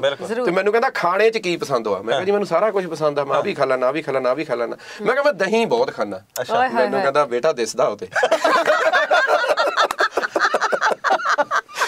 ਸੋ ਗੱਲ ਇਹ ਆ ਕਿ ਜਿਹੜੀ ਚੀਜ਼ ਤੁਸੀਂ ਆਪ ਖਾਣੇ ਆ ਉਹ ਤੁਸੀਂ ਲੋਕਾਂ ਨੂੰ ਦੱਸ ਸਕਦੇ ਆ। ਸੋ ਚੱਜ ਦਾ ਵਿਚਾਰ ਜੇ ਤੁਹਾਡੇ ਆਪਣੇ ਵਿਚਾਰ ਚੱਜ ਦੇ ਹੋਣਗੇ ਤੇ ਬਹੁਤ ਤੁ- ਔਖਾ ਲਾ ਨਾ ਆ ਤੁਹਾਡੇ ਸ਼ੋਅ ਦਾ। ਚੱਜ ਦਾ ਵਿਚਾਰ ਹਨਾ? ਵਧੀਆ ਵਿਚਾਰ ਵੀ ਅਜੇ ਹੋ ਸਕਦਾ। ਚੱਜ ਦਾ ਤਾਂ ਫਿਰ ਇਹ ਪੰਜਾਬੀ ਦਾ ਟਿਪੀਕਲ ਲਫ਼ਜ਼ ਆ ਚੱਜ ਦਾ ਚੱਜ ਦਾ। ਦਾ। ਮਤਲਬ ਹੁੰਦਾ ਜਿਹੜਾ ਫਿਰ ਚੱਜ ਦੀਆਂ ਗੱਲਾਂ। ਸਭ ਤੋਂ ਹੀ ਐਂਡ ਵਾਲਾ। ਸੋ ਸ਼ੁਕਰਗੁਜ਼ਾਰ ਆ ਤੁਹਾਡੇ ਜਿਹਨੂੰ ਫੇਸਬੁੱਕ ਤੇ ਗਦਰ ਅੱਤ ਐਂਡ ਤੇ ਆਪਾਂ ਨਾ ਗੱਲ ਕਰਦੇ ਤੁਹਾਡਾ ਵੀ ਤੁਹਾਡਾ ਧੰਨਵਾਦ। ਕਰੀਏ ਤੁਸੀਂ ਸਾਡੇ ਬੱਚਿਆਂ ਨੂੰ ਸਾਡੇ ਉਹਨਾਂ ਨੂੰ ਪੰਜਾਬੀ ਨਾਲ ਜੋੜਦੇ ਆ ਤੁਹਾਡੀ ਸੁਣ ਕੇ ਪੰਜਾਬੀ ਉਹ ਪੁੱਛਦੇ ਆ ਲਫ਼ਜ਼ ਸਾਨੂੰ। ਮੇਰਾ ਬੇਟਾ ਯੂਬੀਸੀ ਪੜ੍ਹਦਾ ਆ। ਉਹਨੇ ਪੰਜਾਬੀ ਸਬਜੈਕਟ ਰੱਖਿਆ ਹੋਇਆ। ਉਹ। ਲਿਖ ਲੈਂਦਾ ਪੜ੍ਹ ਲੈਂਦਾ ਪੰਜਾਬੀ। ਕੀ ਬਾਤ ਹੈ। ਇਹ ਤੁਹਾਨੂੰ ਸਲਾਮ ਹੈ ਕਿ ਤੁਸੀਂ ਆਪਣੇ ਬੱਚਿਆਂ ਨੂੰ ਇਸ ਕਾਬਲ। ਬਣਾਇਆ। ਨਹੀਂ ਤਾਂ ਪੰਜਾਬ 'ਚ ਰਹਿੰਦੇ ਜਿਵੇਂ ਆਪਾਂ ਪਹਿਲਾਂ ਗੱਲ ਕੀਤੀ ਸੀ ਵੀ ਪੰਜਾਬ 'ਚ ਰਹਿੰਦੇ ਮਾਪੇ ਨਹੀਂ ਚਾਹੁੰਦੇ ਵੀ ਉਹਨਾਂ ਦੇ ਜਵਾਕ ਜਿਹੜੇ। ਉਹ ਪੰਜਾਬੀ। ਹਾਂਜੀ। ਹੈਨਾ ਇਹ ਤੁਹਾਡਾ ਵਡੱਪਣ ਹੈ ਕਿ ਤੁਸੀਂ ਆਪਣੇ ਬੱਚਿਆਂ ਨੂੰ ਉਸ ਮੁਲਕ ਦੇ ਵਿੱਚ ਵੀ ਜਿੱਥੇ ਕਦੀ ਪੰਜਾਬੀ ਮੈਨੂੰ ਲੱਗਦਾ ਸੀਗੀ ਹੋਈ ਨਹੀਂ। ਹੈਨਾ ਉਸ। ਮੁਲਕ ਦੇ ਵਿੱਚ ਵੀ ਤੁਸੀਂ ਪਰ ਪੰਜਾਬੀ ਇਹ ਦੇਖੋ ਪੜ੍ਹਾ ਤਾਂ ਰਹੇ ਸਾਡੇ ਉੱਥੇ ਲੋਕਾਂ ਦਾ ਕਿੰਨਾ ਯੋਗਦਾਨ ਆ। ਕਿ ਸਾਡੀ ਪੰਜਾਬੀ ਜ਼ੁਬਾਨ ਕਿੰਨੀ ਤਰੱਕੀ ਕੈਨੇਡਾ ਚ। ਕਰ ਰਹੀ ਆ। ਯੂਨੀਵਰਸਿਟੀ ਵਿੱਚ ਇੱਕ ਸਬਜੈਕਟ ਵਾ ਕਿਆ ਬਾਤ ਤੇ ਜਿੰਨੇ ਉਹਦੇ ਕ੍ਰੈਡਿਟਸ ਇਕਨੋਮਿਕਸ ਦੇ ਮਿਲਨੇ ਆ ਜਿੰਨੇ ਕੋਈ ਪੋਲੀਟੀਕਲ ਸਾਇੰਸ ਦੇ ਮਿਲਨੇ ਆ ਉਨੇ ਹੀ ਪੰਜਾਬੀ ਦੇ ਮਿਲਨੇ ਕਿਆ ਆ ਬਾਤ ਸੋ ਉਹ ਪੜ੍ਹਦੇ ਆ ਤੇ ਉਹ ਜਦੋਂ ਤੁਹਾਡਾ ਸ਼ੋਅ ਸੁਣਦੇ ਆ ਫਿਰ ਜਿੱਲੇ ਗੜੂੰਦ ਕਹਿ ਦਿੰਦੇ ਫਿਰ ਉਹ ਪੁੱਛਦਾ ਹੁੰਦਾ ਬਾਪਾ ਇਹ ਇਹ ਕੀ ਹੁੰਦਾ? ਫਿਰ ਉਹਨੂੰ ਸਮਝਾਈਦਾ। ਸੋ ਤੁਸੀਂ ਵਧਾਈ ਦੇ ਹੱਕਦਾਰ। ਮਿਹਰਬਾਨੀ ਮਿਹਰਬਾਨੀ। ਆਪਾਂ ਨਾ ਗੱਲ ਕਰ ਲਈ ਸੀ ਪੰਜਾਬੀ ਵਿਰਸੇ ਦੀ। ਹਾਂਜੀ। ਆ ਕੁਝ ਸਮਾਂ ਪਹਿਲਾਂ ਤੁਸੀਂ ਟੀਮ ਫਾਰ ਐਂਟਰਟੇਨਮੈਂਟ ਨੇ ਜਿਹੜਾ ਟੋਰਾਂਟੋ ਦੇ ਵਿੱਚ ਸ਼ੋਅ ਕਮਾਲ ਦਾ ਸੀ ਉਹ ਵੀ। ਮੈਨੂੰ ਨਾ ਸੋਢੀ ਨਾਗਰਾ ਹੋਰੀ ਅਕਸਰ ਕਹਿੰਦੇ ਹੁੰਦੇ ਆ ਕਹਿੰਦੇ ਵੀ ਉਹ ਮੈਂ ਜਦੋਂ ਅੱਖਾਂ ਬੰਦ ਕਰਦਾ ਨਾ ਮੇਰੇ ਮੂਹਰੇ ਕਮਲ ਹੀਰ ਦੇ ਹੱਥ ਵਿੱਚ ਚਿਮਟਾ ਫੜਿਆ। ਓਏ ਹੋਏ। ਕਾਲੇ ਰੰਗ ਦਾ ਉਹਨਾਂ ਨੇ ਕੁੜਤਾ ਪਜਾਮਾ ਚਾਦਰਾ ਉਹਨਾਂ ਨੇ ਬੰਨਿਆ ਤੇ ਵਾਰਸ ਸਾਹਿਬ ਚਿੱਟੇ ਰੰਗ ਦੇ ਵਿੱਚ ਆਏ। ਕਹਿੰਦਾ ਮੈਨੂੰ ਐ ਲੱਗਦਾ ਵੀ ਮੇਰੇ ਮੂਹਰੇ ਹੁਣ ਵੀ ਆ ਕੇ ਖੜ ਗਏ ਉਹ। ਓਏ ਹੋਏ ਇੱਕ ਉਹ ਉਹ ਬਹੁਤ ਸਾਰੀਆਂ ਗੱਲਾਂ ਚੇਤੇ ਕਰਦੇ ਹੁੰਦੇ ਆ। ਕਹਿੰਦੇ ਹੁੰਦੇ ਵੀ ਅਸੀਂ ਨਾ ਆਪਣੀ ਜਿਹੜੀ ਉਹ ਉਹਨਾਂ ਦਾ ਬਹੁਤ ਵੱਡਾ ਕੰਮ ਹੈਗਾ ਆਪਾਂ ਜਾਣਦੇ ਤੁਹਾਨੂੰ ਹਨਾ? ਉਹਨਾਂ ਨੇ ਇੱਕ ਮੈਨੂੰ ਗੱਲ ਦੱਸੀ ਸੀ ਕਹਿੰਦੇ ਵੀ ਅਸੀਂ ਨਾ ਰਾਤ ਨੂੰ ਬੈਠ ਕੇ ਬਹੁਤ ਸਾਰੀਆਂ ਗੱਲਾਂ ਇਹੋ ਜਿਹੀਆਂ ਸਾਂਝੀਆਂ ਕੀਤੀਆਂ ਜਿਹੜੀਆਂ ਅੱਜ ਵੀ ਚੇਤਾ ਕਰਦਾ ਤਾਂ। ਫੁੱਟਦਾ ਹਾਸਾ। ਮੈਂ ਚਾਹੁੰਦਾ ਵੀ ਇੱਥੇ ਵੀ ਹਾਸਾ ਫੁੱਟ ਜੇ ਕੋਈ ਇੱਕ ਗੱਲ ਉਹਦੀ। ਨਹੀਂ ਸਭ ਤੋਂ ਪਹਿਲਾਂ ਤਾਂ ਮੈਂ ਉਹ ਵੀਰਾਂ ਦਾ ਧੰਨਵਾਦ ਕਰੂੰਗਾ ਹਰਜਿੰਦਰ ਗਿੱਲ ਮੇਜਰ ਗਾਖਲ ਜੀ ਸੋਢੀ ਨਾਗਰਾ ਜੀ ਤੁਸੀਂ ਜ਼ਿਕਰ ਕੀਤਾ। Rajveer Bopa Rai team for entertainment ਜਿਨ੍ਹਾਂ ਨੇ ਸਾਡਾ ਸ਼ੋਅ ਟੋਰਾਂਟੋ ਦੇ ਵਿੱਚ ਇਹ ਹਮੇਸ਼ਾ। ਕਰਾਉਂਦੇ ਆ ਪੰਜਾਬੀ ਵਿਰਸਾ। ਉਹ ਸਾਡੇ ਪ੍ਰਮੋਟਰ ਨਹੀਂ ਹੈਗੇ। ਭਰਾ। ਭਰਾ ਆ। ਬਿਲਕੁਲ। ਤੇ ਹੁਣ ਉਹ ਹੱਸਦੇ ਹੁੰਦੇ ਆ। ਉਹ ਕਹਿੰਦੇ ਭਾਜੀ ਮੈਂ ਮੇਰੀ ਗਾਇਕੀ ਦਾ 25ਵਾਂ ਸਾਲ ਆ ਹੁਣ। ਉਹ ਕਹਿੰਦੇ ਸੀ ਉਹਦੇ ਜਸ਼ਨ ਮਨਾਉਣੇ ਆ ਐਤਕੀ। ਮੈਨੂੰ ਨਹੀਂ ਫਿਕਰ ਹੈਗਾ ਉਹ ਰੋਜ਼ ਮੀਟਿੰਗ ਕਰਦੇ ਆ ਵੀ ਹੋਰ ਕੀ ਕੀਤਾ ਜਾ ਸਕਦਾ। ਬਿਲਕੁਲ ਸਹੀ। ਹੈਨਾ? ਤੇ। ਜਿਹੜੇ ਸਾਡੇ ਬਾਕੀ ਉਹ ਹੋਰ ਵੀ ਕਲਾਕਾਰਾਂ ਦੇ ਸ਼ੋਅ ਕਰਾਉਂਦੇ ਆ ਤੇ ਸਾਡੀਆਂ ਇਹ ਸਾਰੀਆਂ ਸ਼ਖਸੀਅਤਾਂ ਰੇਡੀਓ ਨਾਲ ਜੁੜੀਆਂ ਹੋਈਆਂ ਉੱਥੇ। ਤੇ ਇਸ ਕਰਕੇ ਉਹਨਾਂ ਦੇ ਬਾਕੀ ਆਰਟਿਸਟ ਗਾਹੇ ਵਗਾਹੇ ਉਹਨਾਂ ਨਾਲ ਮੁਲਾਕਾਤਾਂ ਬਹੁਤ ਜ਼ਿਆਦਾ ਹੁੰਦੀਆਂ ਰਹਿੰਦੀਆਂ। ਤੇ ਉਹ ਗੱਲ ਵਿੱਚ ਗੱਲ ਫੇਰ ਸਾਡੀ ਆ ਉਹ ਜਾਂਦੀ ਮੈਨੂੰ ਆ। ਕਹਿਣਗੇ ਸਵਰਨ ਭਾ ਐਤਕੀ ਵਿੱਚ ਇਹਦੇ ਹੋਰ ਕੀ ਦਰਜ ਕਰਨਾ ਚਾਹੀਦਾ? ਸੋ ਮੇਰੀ ਖੁਸ਼ਕਿਸਮਤੀ ਆ ਕਮਲ ਹੀਰ ਦੀ ਸੰਗਤਾਰ ਦੀ ਕਿ ਟੀਮ ਫॉर ਐਂਟਰਟੇਨਮੈਂਟ ਜਿਹੜੀ ਇੱਕ ਸੁਲਝੇ ਹੋਏ ਨੌਜਵਾਨਾਂ ਦੀ ਟੀਮ ਆ ਜਿਹੜੇ ਇਹ ਸਾਡੇ ਮੀਡੀਆ ਨਾਲ ਵੀ ਜੁੜੇ ਹੋਏ ਆ ਤੇ ਸਾਹਿਤ ਨਾਲ ਵੀ ਜੁੜੇ ਹੋਏ ਆ ਤੇ ਪੰਜਾਬ ਨਾਲ ਜੁੜੇ ਹੋਏ ਪੰਜਾਬੀਅਤ ਨਾਲ ਉਹ ਸਾਨੂੰ ਲੋਕਾਂ ਸਾਹਮਣੇ ਪੇਸ਼ ਕਰਦੇ ਤੇ ਭਾਜੀ ਇੱਕ ਪੰਜਾਬੀ ਵਿਰਸੇ ਦੇ ਨਾਲ ਸੰਬੰਧਿਤ ਗਾਣੇ ਤਾਂ ਬਹੁਤ ਸਾਰੇ ਆ। ਕਿਹਦਾ ਕਿਹਦਾ ਨਾਂ ਲਵਾਂ ਕਿਹਨੂੰ ਕਿਹਨੂੰ ਛੱਡਾਂ? ਪਰ ਜਿਹੜਾ ਤੁਹਾਡੇ ਬਹੁਤ ਦਿਲ ਦੇ ਕਰੀਬ ਆ ਜਿਹੜਾ ਐਤਕੀ ਗਾਇਆ ਹੋਵੇ ਤੁਸੀਂ ਟੋਰਾਂਟੋ ਦੇ ਵਿੱਚ ਜਿਹੜਾ ਗਾਇਆ ਉਹ ਸਾਂਝਾ ਕਰ ਲਓ। ਟ੍ਰਾਂਟੋ ਦੇ ਵਿੱਚ ਐਤਕੀ ਤਾਂ ਹੁਣ ਹੋਰ ਨਵਾਂ ਗਾਤਾ। ਅੱਛਾ। ਹੁਣ ਤਾਂ ਅਸੀਂ ਮੈਲਬਰਨ ਗਾਇਆ ਐਤਕੀ। ਟ੍ਰਾਂਟੋ ਪਿਛਲੇ ਸਾਲ ਗਾਇਆ ਸੀ ਉਹਦੇ ਵਿੱਚ ਮੈਂ ਨਾ ਇੱਕ ਪੰਚਾਇਤ ਦੀ ਗੱਲ ਕੀਤੀ ਸੀ। ਹਾਂ। ਪਿੰਡ 'ਚ ਪੰਚਾਇਤ ਲੱਗੀ ਹੋਈ ਆ ਮੈਂ ਕਿਹਾ ਤਰੱਕੀਆਂ ਹੋ ਗਈਆਂ ਕੋਠੀਆਂ ਬਣ ਗਈਆਂ ਫੋਨ ਆ ਗਏ ਕਾਰਾਂ ਆ ਗਈਆਂ। ਪਰ ਜਿਹੜੇ ਸਰਪੰਚ ਮੁਰੇ ਮਸਲੇ ਲੈ ਕੇ ਆਂਦੇ ਉਹੀ ਮਸਲੇ ਆ ਜੀ। ਉਹ ਕਿਹੜੇ। ਮਸਲੇ ਆ? ਇੱਕ ਰੌਲਾ ਭਾਈਆਂ ਵਿੱਚ ਚੱਲੇ ਵੰਡ ਦਾ ਵੱਡਾ ਰੌਲਾ ਜੁਨੀਅਨ ਖਾ ਗਈ ਫੰਡ ਦਾ ਟੋਬੇ ਵਾਲਾ ਸਾਧ ਛੇੜਦਾ ਜਨਾਨੀਆਂ। ਭਾਂਡਾ ਭੰਨਣਾ ਹੀ ਚੱਲਦੇ ਪਖੰਡ ਦਾ। ਪਾਜ ਬਾਬਿਆਂ ਦੇ ਜਾਣਗੇ ਉਗੇੜੇ ਮਿੱਤਰੋ ਅੱਜ ਹੋਣਗੇ। ਹੋਣਗੇ ਪੰਚਾਇਤ ਚ ਨਵੇੜੇ ਮਿੱਤਰੋ ਅੱਜ ਹੋਣਗੇ। ਵਾਹ ਜੀ ਵਾਹ ਕੀ ਬਾਤ ਹੈ ਬਹੁਤ ਵਧੀਆ। ਸਿਰਾ। ਸ਼ੁਕਰੀਆ ਜੀ। ਭਾਜੀ ਪਲਾਜ਼ਮਾ ਰਿਕਾਰਡ ਬਹੁਤ ਵੱਡਾ ਨਾਂ ਸੰਗੀਤ ਖੇਤਰ ਦੇ ਵਿੱਚ। ਇੱਕ ਐਸੀ ਕੰਪਨੀ ਇੱਕ ਐਸਾ ਬੈਨਰ ਜਿਹਦੇ ਤਹਿਤ ਤੁਹਾਡੇ ਮੇਰਾ ਖਿਆਲ ਆ ਵੀ ਗਿਣਤੀ ਹੈ ਨਹੀਂਗੀ ਤਿੰਨਾਂ ਭਰਾਵਾਂ ਦੇ ਗੀਤਾਂ ਦੀ। ਹਾਂਜੀ। ਜਿਹੜਾ ਪੰਜਾਬੀ ਵਿਰਸਾ ਉਹ ਤਾਂ ਹੈ ਹੀ ਬਿਲਕੁਲ ਇਹਦੇ ਨਾਲ ਹੀ ਜੁੜਿਆ ਹੋਇਆ। ਇਹ ਜਿਹੜਾ ਪਲਾਜ਼ਮਾ ਰਿਕਾਰਡ ਆ ਉਹ ਤਾਂ ਚਲੋ ਹੋ ਗਈ ਗੱਲ ਕਿ ਪੰਜਾਬੀ ਵਿਰਸਾ ਜਿਹੜਾ ਉਹ। ਅਚਾਨਕ ਤੁਹਾਨੂੰ ਫੁਰਨਾ ਫੁਰਿਆ। ਤੁਸੀਂ ਬੈਠੇ ਤਿੰਨੇ ਭਰਾ ਕੋਈ ਉਹਦੇ ਪਿੱਛੇ ਖਾਸ ਮੀਟਿੰਗਾਂ ਨਹੀਂ ਹੋਈਆਂ। ਪਰ ਮੈਨੂੰ ਲੱਗਦਾ ਵੀ ਪਲਾਜ਼ਮਾ ਇਹ ਇੱਕ ਵੱਖਰਤਾ ਵਾਲਾ ਸ਼ਬਦ ਆ। ਇਹਦੇ ਪਿੱਛੇ ਤਾਂ ਮੀਟਿੰਗਾਂ ਹੋਈਆਂ ਹੀ ਹੋਣੀਆਂ। ਇਹਦੇ ਪਿੱਛੇ ਇਦਾਂ ਸੀ ਜਦੋਂ ਨਾ ਮੈਂ ਨਾ ਪਹਿਲਾਂ ਟੀ ਸੀਰੀਜ਼ ਨਾਲ ਕੰਮ ਕੀਤਾ ਬਹੁਤ ਕੀਤਾ ਉਹਨਾਂ ਨਾਲ। ਤੇ ਉਹ ਤੋਂ ਬਾਅਦ ਮੈਂ ਟਿਪਸ ਨਾਲ ਸਾਈਨ ਹੋ ਗਿਆ। ਤੇ ਮੈਂ ਟਿਪਸ ਨਾਲ ਜਦੋਂ ਉਹ ਅਜੇ ਦੇਵਗਨ ਵਾਲੀ ਮੂਵੀ ਸੀ ਲੈ ਜਾਣੋ ਭਗਤ ਸਿੰਘ ਦਾ ਰੰਗ ਦੇ ਗੀਤ ਚੋਲਾ ਉਹ ਵੀ ਮੈਂ ਬਿਲਕੁਲ ਸਹੀ। ਟਿਪਸ ਵਾਲੇ ਦੀ ਪ੍ਰੋਡਕਸ਼ਨ ਸੀ ਉਹ ਗਾਇਆ ਸੀ। ਤੇ ਉਹ ਤੋਂ ਬਾਅਦ ਜਦੋਂ ਕਮਲ ਹੀਰ ਨੂੰ ਅਸੀਂ ਲਾਂਚ ਕਰਨਾ ਸੀ ਮੈਂ ਤੇ ਦੀਪਕ ਅਸੀਂ ਸਾਰੇ ਕੰਪਨੀਆਂ ਵਾਲਿਆਂ ਕੋਲ ਘੁੰਮੇ। ਅਸੀਂ ਪਹਿਲਾਂ ਟੀ ਸੀਰੀਜ਼ ਨੂੰ ਕਿਹਾ ਤੇ ਉਹ ਉਦੋਂ ਗੁਲਸ਼ਨ ਕੁਮਾਰ ਜੀ ਦੀ ਡੈਥ ਹੋ ਗਈ ਸੀ। ਭੂਸ਼ਣ ਜੀ ਆ ਗਏ ਸੀ। ਉਹਨਾਂ ਦਾ ਇੰਟਰਸਟ ਮੇਰੇ 'ਚ ਜ਼ਿਆਦਾ ਤੇ ਮੇਰੀ ਗਾਇਕੀ ਨੂੰ ਵੀ ਉਹ ਆਪਣੇ ਵੀਰ ਆ ਉਹ ਬੜਾ ਸੰਬੰਧ ਵਧੀਆ ਆ ਪਰ ਉਹ ਮੈਨੂੰ ਕਹਿਣ ਕਿ ਜੋ ਕੁਝ ਤੁਸੀਂ ਗਾਇਕੀ ਗਾਉਂਦੇ ਆ ਇਹ ਨਹੀਂ ਤੁਸੀਂ ਥੋੜਾ ਨਾ ਨੈਸ਼ਨਲ ਲੈਵਲ ਕਰੋ। ਅੱਛਾ ਜੀ। ਤੇ ਉਹ ਮੈਨੂੰ ਕਮਲ ਦੀ ਗੱਲ ਘੱਟ ਕਰਨ ਮੈਨੂੰ ਵੀ ਸਲਾਹ ਦੇਣ ਕਿ ਤੂੰ ਵੀ ਥੋੜਾ ਜਿਹਾ ਉਹ ਕਹਿਣ ਉੱਤੇ ਚੱਲ ਮੈਨੂੰ ਲੱਗੇ ਵੀ ਥੱਲੇ ਆ। ਵੀ ਉਹ ਨੈ- ਜਿਹੜੀ ਪੰਜਾਬੀ ਆ ਨਾ ਇਹਨੂੰ ਗੜੂੰਦ ਚੋਂ ਕੱਢੋ ਤੇ ਇਹਨੂੰ ਥੋੜਾ ਜਿਹਾ ਲਾਈਟ ਕਰੋ। ਇਹ ਜਿਹੜੀ ਸਮਝ ਆਵੇ ਜਿਹੜੀ ਸਾਰਿਆਂ ਨੂੰ ਹਨਾ ਤੇ ਉਹ ਮੇਰੀ ਗੱਲ ਨਹੀਂ ਬਣੀ ਅਸੀਂ ਉੱਥੋਂ ਉੱਠ ਕੇ ਆ ਗਏ। ਅਸੀਂ ਇੱਕ ਹੋਰ ਕੰਪਨੀ ਕੋਲ ਗਏ ਬੜੀ ਨਾਮਵਰ ਕੰਪਨੀ ਕੋਲ। ਤੇ ਉਹਨਾਂ ਨੂੰ ਪੁੱਛਿਆ ਉਹ ਕਹਿੰਦੇ ਵੀ ਤੁਸੀਂ ਜੀ ਕੈਸਟ ਬਣਾ ਲਓ ਸੀਡੀ ਬਣਾ ਲਓ ਵੀਡੀਓ ਬਣਾ ਲਓ ਡਿਸਟ੍ਰੀਬਿਊਟ ਕਰ ਦਿਆਂਗੇ ਅੱਧਾ ਦਾ ਪ੍ਰੋਫਿਟ ਕਰ ਲਾਂਗੇ। ਮੈਂ ਕਿਹਾ ਯਾਰ ਸਾਰਾ ਕੁਝ ਤਾਂ ਅਸੀਂ ਕਰਨਾ ਨਾ ਨਹੀਂ ਕਰਨਾ ਉੱਥੋਂ ਵੀ ਉੱਠ ਕੇ ਆ ਗਏ। ਉਹ ਤੋਂ ਬਾਅਦ ਅਸੀਂ ਟਿਪਸ ਦੇ ਜਿਹੜੇ ਸਾਡੇ ਮੋਰੇ ਡੀਲ ਕਰਦੇ ਸੀ ਉਹਨਾਂ ਕੋਲ ਗਏ। ਮੈਂ ਕਿਹਾ ਕਮਲ ਹੀਰ ਨੂੰ ਲਾਂਚ ਕਰਨਾ। ਕਹਿੰਦੇ ਕੋਈ ਗੱਲ ਨਹੀਂ ਹੈ ਨਾ ਬ੍ਰਦਰ ਦੱਸਿਆ ਵੀ ਅੱਦਾ ਇਦਾਂ ਆ। ਕਹਿੰਦੇ ਹਾਂ ਕਰ ਦਾਂਗੇ ਕੋਈ ਗੱਲ ਹੀ ਨਹੀਂ ਹੈ ਹੈ ਨਾ ਤੇ ਮੈਂ ਕਿਹਾ ਵੀ ਚਲੋ ਦੱਸੋ ਫਿਰ ਕਿੱਦਾਂ ਕਰਨੀ ਆ। ਉਸ ਬੰਦੇ ਨੇ ਮੈਨੂੰ ਤਾਂ ਦੀਪਕ ਨੂੰ ਕਿਹਾ ਉਹਨੇ ਸ਼ਾਇਦ ਮੈਨੂੰ ਖੁਸ਼ ਕਰਨ ਨੂੰ ਗੱਲ ਕਹੀ। ਪਰ ਉਸ ਗੱਲ ਨੇ ਉਹਨੂੰ ਇਹ ਨਹੀਂ ਪਤਾ ਸੀ ਅਸੀਂ ਤਿੰਨ ਰੂਹਾਂ ਇੱਕ ਜਾਨ ਹੁਣ ਦੀਪਕ ਵਾਲੀ ਵੀ ਚੌਥੀ ਰੂਹ ਸਾਡੀ ਹੈਨਾ। ਤੇ ਅਸੀਂ ਸਾਡੇ ਵਿਚਾਰ ਕਿਦਾਂ ਅਸੀਂ ਇੱਕ ਦੂਜੇ ਲਈ ਕਿਦਾਂ ਕਿਸਮਤਾਂ ਵੀ ਸਾਡੀਆਂ ਸਾਂਝੀਆਂ ਆ ਅਸੀਂ ਇੱਕ ਦੂਜੇ ਦੇ ਦੁੱਖ ਸੁੱਖ ਵੀ ਵੰਡਿਓ ਆ ਸਾਰੇ ਕੁਝ ਪਰ ਉਹਨੇ ਮੈਨੂੰ ਕਿਹਾ ਕਹਿੰਦਾ ਹਾਂ ਕਮਲ ਹੀਰ ਕੋ ਕਰ ਦੇਗੇ ਰਿਲੀਜ਼ ਮੇਰੀ ਹਿੰਦੀ ਇਦਾਂ ਦੀ ਹੈ ਸੁਣ ਲਿਓ। ਕਹਿੰਦਾ ਪਰ ਐਸਾ ਥੋੜਾ ਹੈ। ਕਿ ਛੋਟੇ ਭਾਈ ਕੋ ਬੜੇ ਭਾਈ ਕੇ ਸਰ ਤੇ ਬਿਠਾ ਦੇਗੇ। ਅੱਛਾ ਉਹ ਕਹਿੰਦਾ ਉਸ- ਉਸਕੇ ਹਿਸਾਬ ਸੇ ਉਹਨਾਂ ਕਰ ਨੂੰ ਕੀ ਪਤਾ ਹੈ ਨਾ ਵੀ ਇਹਨਾਂ ਗੱਲਾਂ ਦੀ ਕੀ ਅਹਿਮੀਅਤ ਆ ਇਹ ਕੀ ਕਹਿ ਮੈਂ ਤਾਂ ਦੀਪਕ ਦਾ ਹੱਥ ਫੜਿਆ ਹਾਂ। ਤੇ ਗੇਟ ਦਰਵਾਜ਼ੇ ਚੋਂ ਖੁੱਲਦੇ ਆਉਂਦੇ ਨਿਕਲਦੇ ਨਿਕਲਦੇ ਕੰਪਨੀ ਖੁੱਲ ਗਈ। ਅੱਛਾ। ਕੀ ਬਾਤ ਹੈ। ਮੈਂ ਕਿਹਾ ਦੀਪਕ ਕੰਪਨੀ ਖੋਲ ਯਾਰ ਆਪਾਂ ਨਹੀਂ ਹਾਂ। ਤੂੰ ਇਹ ਤਾਂ ਸਿਰ ਤੇ ਕਹਿੰਦਾ ਆਪਾਂ ਤਾਂ ਜਾਣੀ ਕਿ ਉਹਨੂੰ ਹੱਥਾਂ ਤੇ ਚੱਕਣਾ ਉੱਤੇ ਸਿਰ ਤੋਂ ਵੀ ਉੱਤੇ ਚੱਕਣਾ ਕਮਲ ਨੂੰ ਕਿਆ ਹੈਨਾ? ਬਾਤ ਹੈ। ਤੇ ਮੈਂ ਭਾਵਕ ਹੋ ਗਿਆ ਸੌਰੀ ਨਹੀਂ, ਮੈਂ ਸਮਝ ਸਕਦਾ। ਮੈਂ ਕਿਹਾ ਅਸੀਂ ਇਦਾਂ ਨਹੀਂ ਮੈਂ ਕਿਹਾ ਇਹ ਇਹ ਨਹੀਂ ਕੁਝ ਵੀ ਕਰ ਸਕਦਾ ਕਮਲ। ਲਈ। ਤੇ ਅਸੀਂ ਬਸ ਨਿਕਲਦੇ ਕੋ ਮੈਂ ਕਿਹਾ ਕੰਪਨੀ ਖੋਲ ਦੀਪਕ ਦੀਪਕ ਕਹਿੰਦਾ ਠੀਕ ਆ ਪਲਾਜ਼ਮਾ ਨਾ ਭਾਜੀ ਕਿਵੇਂ? ਪਲਾਜ਼ਮਾ ਹੀ ਨਾ। ਇਹ ਸੰਗਤਾਰ ਨੇ ਸੋਚਿਆ। ਅੱਛਾ। ਉਹ ਖੂਨ ਵਾਲਾ ਪਲਾਜ਼ਮਾ? ਇਹ ਇਹ- ਇਹਦੇ ਪਿੱਛੇ ਉਹ ਸੀ ਕਾਰਨ ਜਾਂ ਕੋਈ ਹੋਰ ਪਤਾ ਨਹੀਂ ਸੰਗਤਾਰ ਦਾ ਕੋਈ ਸੀ ਪਲਾਜ਼ਮਾ ਕੋਈ ਹੋਰ ਵੀ ਕੋਈ ਤੱਤ ਵੀ ਆ ਅੱਛਾ। ਯੂਨੀਵਰਸ ਚ। ਅੱਛਾ। ਉਹ-। ਹਾਂ ਉਹਦੇ ਉਹਦੇ ਤੋਂ ਠੀਕ ਹੈ ਜੀ। ਖੂਨ ਵਾਲਾ ਨਹੀਂ। ਤੇ ਉਹ ਜਿਹੜਾ ਯੂਨੀਵਰਸ ਵਾਲਾ। ਉੱਪਰ ਸਾਡੇ ਆਕਾਸ਼ ਵਿੱਚ ਆ ਉਹ ਪਲਾਜ਼ਮਾ ਨਾਂ ਰੱਖਿਆ। ਤੇ ਅੱਛਾ ਫਿਰ ਜਦੋਂ ਮੈਂ ਟਿਪਸ ਵਿੱਚ ਸੀਗਾ ਫੇਰ ਆ ਗਈ ਗੱਲ ਉੱਥੇ ਹੈ ਨਾ ਕੰਪਨੀ ਦਾ ਮੈਂ ਨਾਂ ਨਹੀਂ ਕੋਈ ਕੋਈ। ਜਾਨੀ ਕਿ ਕੰਪਨੀ ਕੋਈ ਵੀ ਹੋਵੇ ਉਹ ਜਿਹੜੇ ਟੇਬਲ ਤੇ ਬੈਠੇ ਹੋ ਬੰਦੇ ਕਿੱਦਾਂ ਤੁਹਾਨੂੰ ਕਰਦੇ? ਤੁਹਾਨੂੰ ਬਿਲਕੁਲ। ਉਦੋਂ ਗਾਣਾ ਚੱਲਿਆ ਸੀ ਸਿੱਲੀ ਸਿੱਲੀ ਆਉਂਦੀ ਹੈ ਹਵਾ ਕਿਤੇ ਕੋਈ ਰੋਂਦਾ ਹੋਵੇਗਾ ਉਹ ਗਏ ਅਸੀਂ ਉੱਥੇ ਵੈਸਾ ਗਾਣਾ ਬਣਾਓ। ਅੱਛਾ। ਸਿੱਲੀ ਸਿੱਲੀ ਆਤੀ ਹੈ ਹਵਾ। ਹਾਂ। ਉਹ ਮੈਂ ਕਿਹਾ ਬਹੁਤ ਅੱਛਾ ਸਾਡੇ ਵੱਡੇ ਭਰਾ ਆ ਹੰਸ ਭਾਜੀ। ਪਰ ਮੈਂ ਕਿਹਾ ਉਹਨਾਂ ਤੋਂ ਵੀ ਨਹੀਂ ਉਦਾਂ ਦਾ ਬਣਨਾ। ਹਾਂ। ਉਹਨਾਂ ਤੋਂ ਹੋਰ ਵਧੀਆ ਵੀ ਬਣ ਸਕਦਾ। ਪਰ। ਸਿੱਲੀ ਸਿੱਲੀ ਆਉਂਦੀ ਹੈ ਹਵਾ ਨਹੀਂ ਬਣ ਸਕਦਾ। ਇੱਕ ਚੀਜ਼ ਦੁਬਾਰਾ ਨਹੀਂ ਬਣਦੀ। ਉਹ ਕਹਿੰਦੇ ਨਹੀਂ ਯਾਰ ਵੈਸਾ ਗਾਣਾ ਬਣਾ ਕੇ ਲਾਓ। ਅਸੀਂ ਨਿਕਲੇ ਅਸੀਂ ਆਪਣੀ ਕੰਪਨੀ ਖੋਲ ਲਈ। ਫੇਰ ਅਸੀਂ ਹੋਰ ਬਣਾਇਆ। ਤੇ ਪਲਾਜ਼ਮਾ ਚ ਜਿਹੜਾ ਕਮਲ ਦਾ ਕੈਂਠੇ ਵਾਲਾ ਕੱਢਿਆ। ਤੇ ਮੇਰੀ ਜਿਹੜੀ ਸਭ ਤੋਂ ਪਲਾਜ਼ਮਾ ਚ ਆਈ ਫਿਰ ਅਸੀਂ ਸਿੱਲੀ ਸਿੱਲੀ ਤਾਂ ਨਹੀਂ ਬਣਾਇਆ ਪਰ ਅਸੀਂ ਫਿਰ ਕਿਹੜਾ ਬਣਾਇਆ ਪਤਾ? ਤੇਰੇ ਦਿਲ ਵਿੱਚ ਜਦ ਵੀ ਮੇਰੀਆਂ ਯਾਦਾਂ ਫੇਰੇ ਪਾਉਣਗੀਆਂ ਸੁੱਤੀ ਪਈ ਨੂੰ ਹਿਚਕੀਆਂ ਆਉਣਗੀਆਂ ਸੁੱਤੀ ਪਈ ਨੂੰ ਹਿਚਕੀਆਂ ਆਉਣਗੀਆਂ। ਕਲੋਸਸ ਸਾਡੇ ਡਾਇਰੈਕਟਰ ਸੀਗੇ ਵੀਡੀਓ ਡਾਇਰੈਕਟਰ ਬੜਾ। ਪਿਆਰਾ ਵੀਡੀਓ ਆ ਇਹ। ਤੇ ਕਿਆ ਬਾਤ ਹੈ। ਉਹ- ਇਹ ਬਣਾਇਆ ਸੀ ਪਲਾਜ਼ਮਾ ਚ ਪਹਿਲਾ ਮੇਰਾ ਗਾਣਾ ਇਹ ਆਇਆ। ਬਹੁਤ ਵਧੀਆ। ਲਓ ਵੀ ਹਾਜ਼ਰ ਹੈ। ਜੱਜ ਦਾ ਵਿਚਾਰ।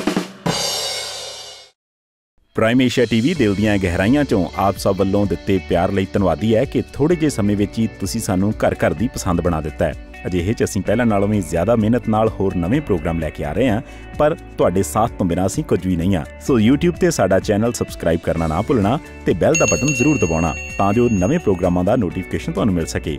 ਇਨ੍ਹਾਂ ਪਲੇਟਫਾਰਮਸ ਤੇ ਵੀ ਤੁਸੀਂ ਸਾਨੂੰ ਦੇਖ ਸਕਦੇ ਹੋ ਤੇ ਇਸ ਦੇ ਨਾਲ ਹੀ ਇਨ੍ਹਾਂ ਸਾਰੇ ਪਲੇਟਫਾਰਮਸ ਤੇ ਵੀ ਅਸੀਂ ਅਵੇਲੇਬਲ ਹਾਂ ਤੇ ਸਾਡਾ ਫੇਸਬੁੱਕ ਪੇਜ ਵੀ ਲਾਈਕ ਕਰਨਾ। ਪ੍ਰਾਈਮ ਏਸ਼ੀਆ ਟੀਵੀ ਤੁਹਾਡਾ ਆਪਣਾ, ਤੁਹਾਡੇ ਲਈ। ਲਓ ਵੀ ਹਾਜ਼ਰ ਹੈ। ਜੱਜ ਦਾ ਵਿਚਾਰ। ਹਰਮਨ ਜੀ ਇੱਕ ਨਾ ਬਹੁਤ ਵੱਡੀ ਗੱਲ ਆ ਜਿਹੜੀ ਉਹ ਸਿੱਖਣੀ ਵੀ ਬਣਦੀ ਹੈ ਤੇ ਸੋਚਣੀ ਵੀ ਬਣਦੀ ਹੈ। ਉਹ ਇਹ ਆ ਕਿ ਜਿਹੜਾ ਲਾਈਵ ਦਾ ਸਿਲਸਿਲਾ ਹੁੰਦਾ ਨਾ ਜਿਹਨੂੰ ਅਸੀਂ ਸਿੱਧਾ ਪ੍ਰਸਾਰਣ ਕਹਿੰਦੇ ਆ ਕੀ ਬਾਤ ਹੈ। ਉਹ ਜਿਹੜੀਆਂ ਸਿੱਧੀਆਂ ਗੱਲਾਂ ਐ ਠਾ ਕਰਕੇ ਵੱਜਦੀਆਂ ਦਿਲ ਦੇ ਵਿੱਚ। ਉਹ ਪੇਸ਼ ਕੀਤੀਆਂ ਅਜੇ ਤੱਕ ਸੀਡੀ ਦੇ ਨਾਲ ਸਬੰਧ ਉਦਾਂ ਤਾਂ ਹੈਗਾ। ਆ ਗੋਲ ਰੰਗ ਜਿਹੜੀ ਹੈਗੀ ਆ ਚਮਕੀਲੀ ਸੀਡੀ ਹੈ ਜਿਹੜੀ। ਉਹ। ਜਾ ਕੇ ਉਹਦੇ ਵਿੱਚ ਪਵੇ ਸੀਡੀ ਪਲੇਅਰ ਦੇ ਵਿੱਚ ਪਰ ਸੀਡੀ ਕਦੇ ਸਟੇਜ ਦੇ ਉੱਤੇ ਨਹੀਂ ਜਾਂਦੀ। ਇਹ ਇਹਨਾਂ ਦੀ। ਗਾਇਕੀ ਦਾ ਹਾਸਲ ਆ। ਹਾਂ ਕਿਉਂਕਿ ਦੇਖੋ ਅਸੀਂ ਇਸ ਕਿੱਤੇ ਦੇ ਨਾਲ ਜੁੜੇ ਹੋਏ ਆ ਤੇ ਸਾਨੂੰ ਪਤਾ ਵੀ ਲਾਈਵ ਗੱਲਬਾਤ ਕਰਨੀ ਤੇ ਰਿਕਾਰਡਡ ਕਰਨਾ। ਇਹ ਬਹੁਤ ਜ਼ਮੀਨ ਅਸਮਾਨ ਦਾ। ਫ਼ਰਕ ਹੈ। ਤੇ ਤੁਸੀਂ ਅੱਜ ਵੀ ਲਾਈਵ ਗਾਉਂਦੇ ਹੋ। ਸ਼ੁਕਰੀਆ ਜੀ। ਜਿੱਥੇ ਅਸੀਂ ਬਹੁਤ ਸਾਰੇ ਇਦਾਂ ਦੇ ਸਮਾਗਮ ਵੇਖੇ ਆ ਸਾਰਿਆਂ ਦੇ ਵੇਖੇ ਨੇ ਵੀ ਜਿਹਦੇ ਵਿੱਚ ਮਗਰ ਤਾਂ ਕੁਝ ਹੋਰ ਚੱਲ ਰਿਹਾ ਹੁੰਦਾ ਮੋਰੇ ਸਿਰਫ ਬੁੱਲ ਹਿੱਲ ਰਹੇ ਹੁੰਦੇ ਜਿਹਨੂੰ ਆਪਾਂ ਲਿਪਸਿੰਗ ਕਹਿੰਦੇ ਆ। ਤੇ ਉਹਦੇ ਮੁਕਾਬਲੇ ਲਾਈਵ ਗਾਉਣਾ ਅੱਜ ਵੀ। ਇਹ ਬਹੁਤ ਵੱਡੀ ਚੁਣੌਤੀਆਂ ਸਹੀ, ਨੇ ਸਹੀ। ਲੱਗਦਾ ਵੀ ਇਹਦੇ ਲਈ ਬਹੁਤ ਜ਼ੋਰ ਇਹ ਗਾਣਾ ਵੀ ਗਾਇਆ ਸੀਗਾ। ਇੱਕ ਨਾ ਸੀਡੀ ਲਾ ਕੇ ਗਾਈਏ ਨਾ। ਕਮਲਹੀਰ ਨੇ ਗਾਇਆ ਸੀਗਾ ਜੀ। ਹਾਂ। ਸਾਨੂੰ ਜਦ ਚਾਹੇ ਅਜ਼ਮਾ ਲਈ ਸੀਡੀ ਲਾ ਕੇ ਗਈ ਹੈ। ਇਹ ਇਹ- ਇਹਦੇ ਪਿੱਛੇ ਵੀ ਦੱਸੋ ਵੀ ਇੱਕ ਤਾਂ ਚਲੋ ਤੁਹਾਡੇ ਤੁਸੀਂ ਗਾ ਸਕਦੇ ਹੋ ਸਮਰੱਥ ਹੋ ਇਸ ਕਰਕੇ ਆ। ਜਿਹੜੇ ਮੇਰੇ ਵਰਗਿਆਂ ਨੂੰ ਆਉਂਦਾ ਹੀ ਨਹੀਂਗਾ ਹਨਾ ਉਹ ਹੈ ਹੀ ਕੰਪਿਊਟਰਾਈਜ਼ਡ ਗਾਇਕ ਉਹਨਾਂ ਨੇ ਤਾਂ ਉਵੇਂ ਹੀ ਕਰਨਾ। ਇਹ ਇਹਦੇ ਪਿੱਛੇ ਜਿਹੜੀ ਤੁਹਾਡੀ ਧਾਰਨਾ ਵਲਵਲੇ ਸੋਚ ਅੱਜ ਤੱਕ ਜਿਹੜੀ ਬਰਕਰਾਰ ਆ ਉਹ ਦੱਸੋ। ਉਹ ਇਦਾਂ ਆ ਕਿ ਅਸੀਂ ਸਿੱਖਿਆ। ਪਹਿਲੀ ਗੱਲ ਤਾਂ ਸਮਰੱਥ ਜਿਹੜੀ ਤੁਸੀਂ ਗੱਲ ਕਹੀ ਆ ਸਾਡੇ ਮਿਊਜ਼ੀਸ਼ੀਅਨਸ ਇਸ ਕਾਬਲ ਆ ਕਿ ਉਹ ਇੰਨਾ ਵਧੀਆ ਵਜਾਉਂਦੇ ਆ। ਸੰਗਤਾਰ ਇਸ ਕਾਬਲ ਆ ਕਿ ਉਹ ਲਾਈਵ ਸਟੇਜ ਤੇ ਇੰਨਾ ਵਧੀਆ 뮤직 ਬਣਾ ਸਕਦਾ। ਤੇ ਜਿਹੜੇ ਸਾਡੇ ਪੁਰਾਣੇ ਸਿੰਗਰ ਹੁੰਦੇ ਸੀਗੇ ਉਦੋਂ ਇਹ ਟੈਕਨੀਕ ਨਹੀਂ ਸੀਗੀ ਇਹ ਤਕਨੀਕ ਨਹੀਂ ਸੀਗੀ। ਤੇ ਇਸ ਕਰਕੇ ਉਹ ਲਾਈਵ ਗਾਉਂਦੇ ਸੀ ਸਾਰੇ। ਉਸਤਾਦ ਜਮਲਾ ਜੱਟ ਜੀ ਦਾ ਇੱਕ ਗੱਲ ਬੜੀ ਵਧੀਆ ਆ ਜਦੋਂ ਨਵਾਂ ਨਵਾਂ 뮤직 ਚੱਲਿਆ ਨਾ ਸੰਗੀਤ 'ਚ ਬਹੁਤ ਜ਼ਿਆਦਾ ਸਾਜ਼ ਵੱਜਣੇ ਸ਼ੁਰੂ ਹੋ ਗਏ। ਉਹ ਕਹਿੰਦੇ ਆਹ ਮ- ਮੁੰਡੇ ਦਾ ਨਾਮ ਹੈ ਭੁੱਲ ਗਿਆ ਐਮ ਤੇ ਸੀ ਮਾਸ਼ੀ ਪਤਾ ਨਹੀਂ ਇਦਾਂ ਦਾ ਕੁਝ ਜਿਹੜਾ ਢੋਲਕ ਵਜਾਉਂਦਾ ਸੀ ਉਹਨਾਂ ਨਾਲ। ਉਹ ਕਹਿੰਦੇ ਵੀ ਮੈਂ ਤੇ ਇਹ ਦੋਨੋਂ ਜਣੇ ਜਦੋਂ ਐਚਐਮਬੀ ਵਾਲੇ ਸਾਨੂੰ ਬੁਲਾਉਂਦੇ ਆ ਅਸੀਂ ਬੱਸ ਬੱਸੇ ਚੜ੍ਹ ਕੇ ਚੱਲ ਜੰਨੇ ਆ ਦਿੱਲੀ ਨੂੰ। ਇਹ ਮੇਰੇ ਨਾਲ ਢੋਲਕ ਵਜਾਉਂਦਾ ਮੈਂ ਤੂੰਬੀ ਵਜਾਉਣਾ ਤੇ ਅਸੀਂ ਰਿਕਾਰਡਿੰਗ ਕਰਾ ਦਿੰਨੇ ਆ। ਇਹ ਗੱਲ ਤੁਹਾਡੇ ਵੀ ਲਿਖਣ ਵਾਲੀ ਤੁਸੀਂ ਸਰੋਤਿਆਂ ਨੂੰ ਹੋਰ ਵੀ ਪ੍ਰਿੰਟਿੰਗ ਪ੍ਰੈਸ 'ਚ ਵੀ ਇਹ ਗੱਲ ਪਹੁੰਚਾਇਓ ਉਹ ਕਹਿੰਦੇ ਕਿ ਇਹ ਢੋਲਕ ਵਜਾਦਾ ਮੈਂ ਤੂੰ ਵੀ ਵਜਾਉਣਾ ਤੇ ਅਸੀਂ ਗਾ ਦਿੰਨੇ ਗਾਣਾ ਉਹ ਰਿਲੀਜ਼ ਹੋ ਜਾਂਦਾ। ਉਹ ਤੋਂ ਬਾਅਦ ਮੈਨੂੰ ਬੁਕਿੰਗ ਕਰਕੇ ਕੋਈ ਸੱਜਣ ਲੈ ਜਾਂਦਾ। ਕਹਿੰਦੇ ਉੱਥੇ ਵੀ ਇਹੀ ਢੋਲਕ ਵਜਾਉਂਦਾ ਹੁੰਦਾ ਮੈਂ ਤੂੰ ਵੀ ਵਜਾਉਣਾ ਹੁੰਦਾ। ਆ ਗਿਆ ਨਾ ਕਹਿੰਦੇ ਅਸਲੀ ਰਿਕਾਰਡਿੰਗ ਉਹੀ। ਜਿਹੜੀ ਅਸੀਂ ਉੱਥੇ ਕਰਕੇ ਆਏ ਆ ਉੱਥੇ ਸੀ ਆ। ਕਹਿੰਦੇ ਜਿਹੜੀਆਂ ਆਹ ਬਗਾਨੀਆਂ ਢੋਲਕੀਆਂ ਬਾਇਲਣਾ ਵੱਜ ਗਈਆਂ ਇਹ ਤਾਂ ਫਿਰ ਉੱਥੇ ਤਾਂ ਵੱਜਣੀਆਂ ਨਹੀਂ ਅਗਲੇ ਦੇ ਘਰ ਜਾ ਕੇ। ਬਿਲਕੁਲ ਸਹੀ। ਹਨਾ? ਹੁਣ ਅਸੀਂ ਕਹਿੰਦੇ ਅਸੀਂ ਫਲਾਣੇ ਰੈਪਰ ਤੋਂ ਮਿਊਜ਼ਿਕ ਲੈ ਲਿਆ ਅਸੀਂ ਇੰਗਲੈਂਡ ਤੋਂ ਮਿਊਜ਼ਿਕ ਕਰਾਇਆ ਹਨਾ? ਹੁਣ ਜਦੋਂ ਵਿਕਟੋਰੀਆ ਗਾਰਡਨ 'ਚ ਸ਼ੋਅ ਲੱਗਣਾ ਉੱਥੇ ਤਾਂ ਰੈਪਰ ਨੇ ਆਉਣਾ ਨਹੀਂ। ਨਾ ਉਹ ਬੰਬੇ ਵਾਲੇ ਨੇ 뮤직 ਡਾਇਰੈਕਟਰ ਨੇ ਆਉਣਾ ਨਾ ਇੰਗਲੈਂਡ ਵਾਲੇ ਨੇ ਆਉਣਾ। ਉੱਥੇ ਤਾਂ ਫਿਰ ਸਾਹਮਣੇ ਤੁਹਾਨੂੰ ਕਰਨਾ ਪੈਣਾ। ਉਹ ਫਿਰ ਕੀ ਕਰਦੇ ਉੱਥੇ ਵੀ ਉਹਨਾਂ ਨੂੰ ਲੈ ਆਉਂਦੇ ਆ। ਉਹ ਪਿੱਛੇ ਫਿਰ ਸੀਡੀ ਵਸਾ ਦਿੰਦੇ ਆ। ਬਿਲਕੁਲ ਹੈਨਾ? ਠੀਕ ਹੈ। ਤੇ ਉਹ ਤਾਂ ਫਿਰ ਮੈਂ ਇਹਨੂੰ ਇੱਕ ਐਗਜ਼ਾਮਪਲ ਇਦਾਂ ਦਿੰਦਾ ਹੁੰਦਾ। ਮੈਂ ਕਿਹਾ ਠੀਕ ਆ ਉਹ ਗਾਇਕ ਹੈਗੇ ਆ ਚਾਹੇ ਉਹਨਾਂ ਨੇ 3 ਮਿੰਟ ਦਾ ਗਾਣਾ ਤਿੰਨਾਂ ਘੰਟਿਆਂ ਚ ਗਾਤਾ ਚਾਹੇ ਤਿੰਨਾਂ ਦਿਨਾਂ ਚ ਪਾਣੀ ਪੀ ਪੀ ਕੇ ਗਾਤਾ ਜਿੱਦਾਂ ਮਰਜ਼ੀ ਆ ਗਾ ਲਿਆ ਪਾਣੀ ਉਹ ਵੀ। ਗਾ ਲਿਆ ਉਹਨਾਂ ਨੇ। ਤੱਤਾ ਪਾਣੀ ਪੀ ਕੇ ਗਾ ਲਿਆ ਜੀ ਉਹਨੇ ਗਰਾਰੇ ਕਰ ਕਰਕੇ ਜੀ ਗਾ ਲਿਆ ਹਨਾ? ਪਰ ਇਦਾਂ ਹੀ ਇੱਕ ਪਹਿਲਵਾਨ ਹੋਵੇ ਜਿਹੜਾ ਇੱਕ ਕੁਸ਼ਤੀ ਕਰਦਾ ਤੇ ਉਹਨੇ ਘਰ 'ਚ ਕੁਸ਼ਤੀ ਕੀਤੀ ਇੱਕ ਦਾ ਮਾਰਿਆ ਤੇ ਉਹ ਕੈਮਰੇ ਵਾਲਾ ਅਸ਼ਵਨੀ ਜੀ ਕਹਿੰਦੇ ਇਹ ਦਾ ਠੀਕ ਨਹੀਂ ਲੱਗਾ ਭਾਜੀ ਜਦੋਂ ਤੁਸੀਂ ਇੱਧਰ ਨੂੰ ਮਾਰਿਆ ਨਾ ਲੱਤ ਤੁਹਾਡੀ ਗਲਤ ਸੀ। ਉਹ ਕਹਿੰਦਾ ਦੁਬਾਰਾ ਕੀ ਲਾਓ ਜੀ? ਉਹ ਦੁਬਾਰਾ ਕੀ ਕਰਤਾ? ਫਿਰ ਦੂਜੀ ਵਾਰੀ ਅਗਲੇ ਨੇ ਧੌਣੋਂ ਫੜਿਆ ਥੱਲੇ ਸਿੱਟਤਾ ਯਾਰ ਇਹ 'ਚ ਤਾਂ ਮੈਂ ਥੱਲੇ ਡਿੱਗ ਪਿਆ। ਇਹ ਨਹੀਂ ਸ਼ਾਟ ਸ਼ਾਟ ਲੈਣਾ ਇਹ ਐਡਿਟ ਕਰਦੇ ਹਾਂ, ਹਨਾ। ਇਦਾਂ ਕਰਕੇ ਅੱਧੇ ਘੰਟੇ ਦੀ ਕੁਸ਼ਤੀ ਤਿਆਰ ਕਰ ਲਈ ਜੀ ਉਹਨਾਂ ਨੇ ਦਸਾਂ ਦਿਨਾਂ 'ਚ। ਉਹ ਤੋਂ ਬਾਅਦ ਲੋਕਾਂ ਨੂੰ ਟਿਕਟਾਂ ਵੇਚਤੀਆਂ।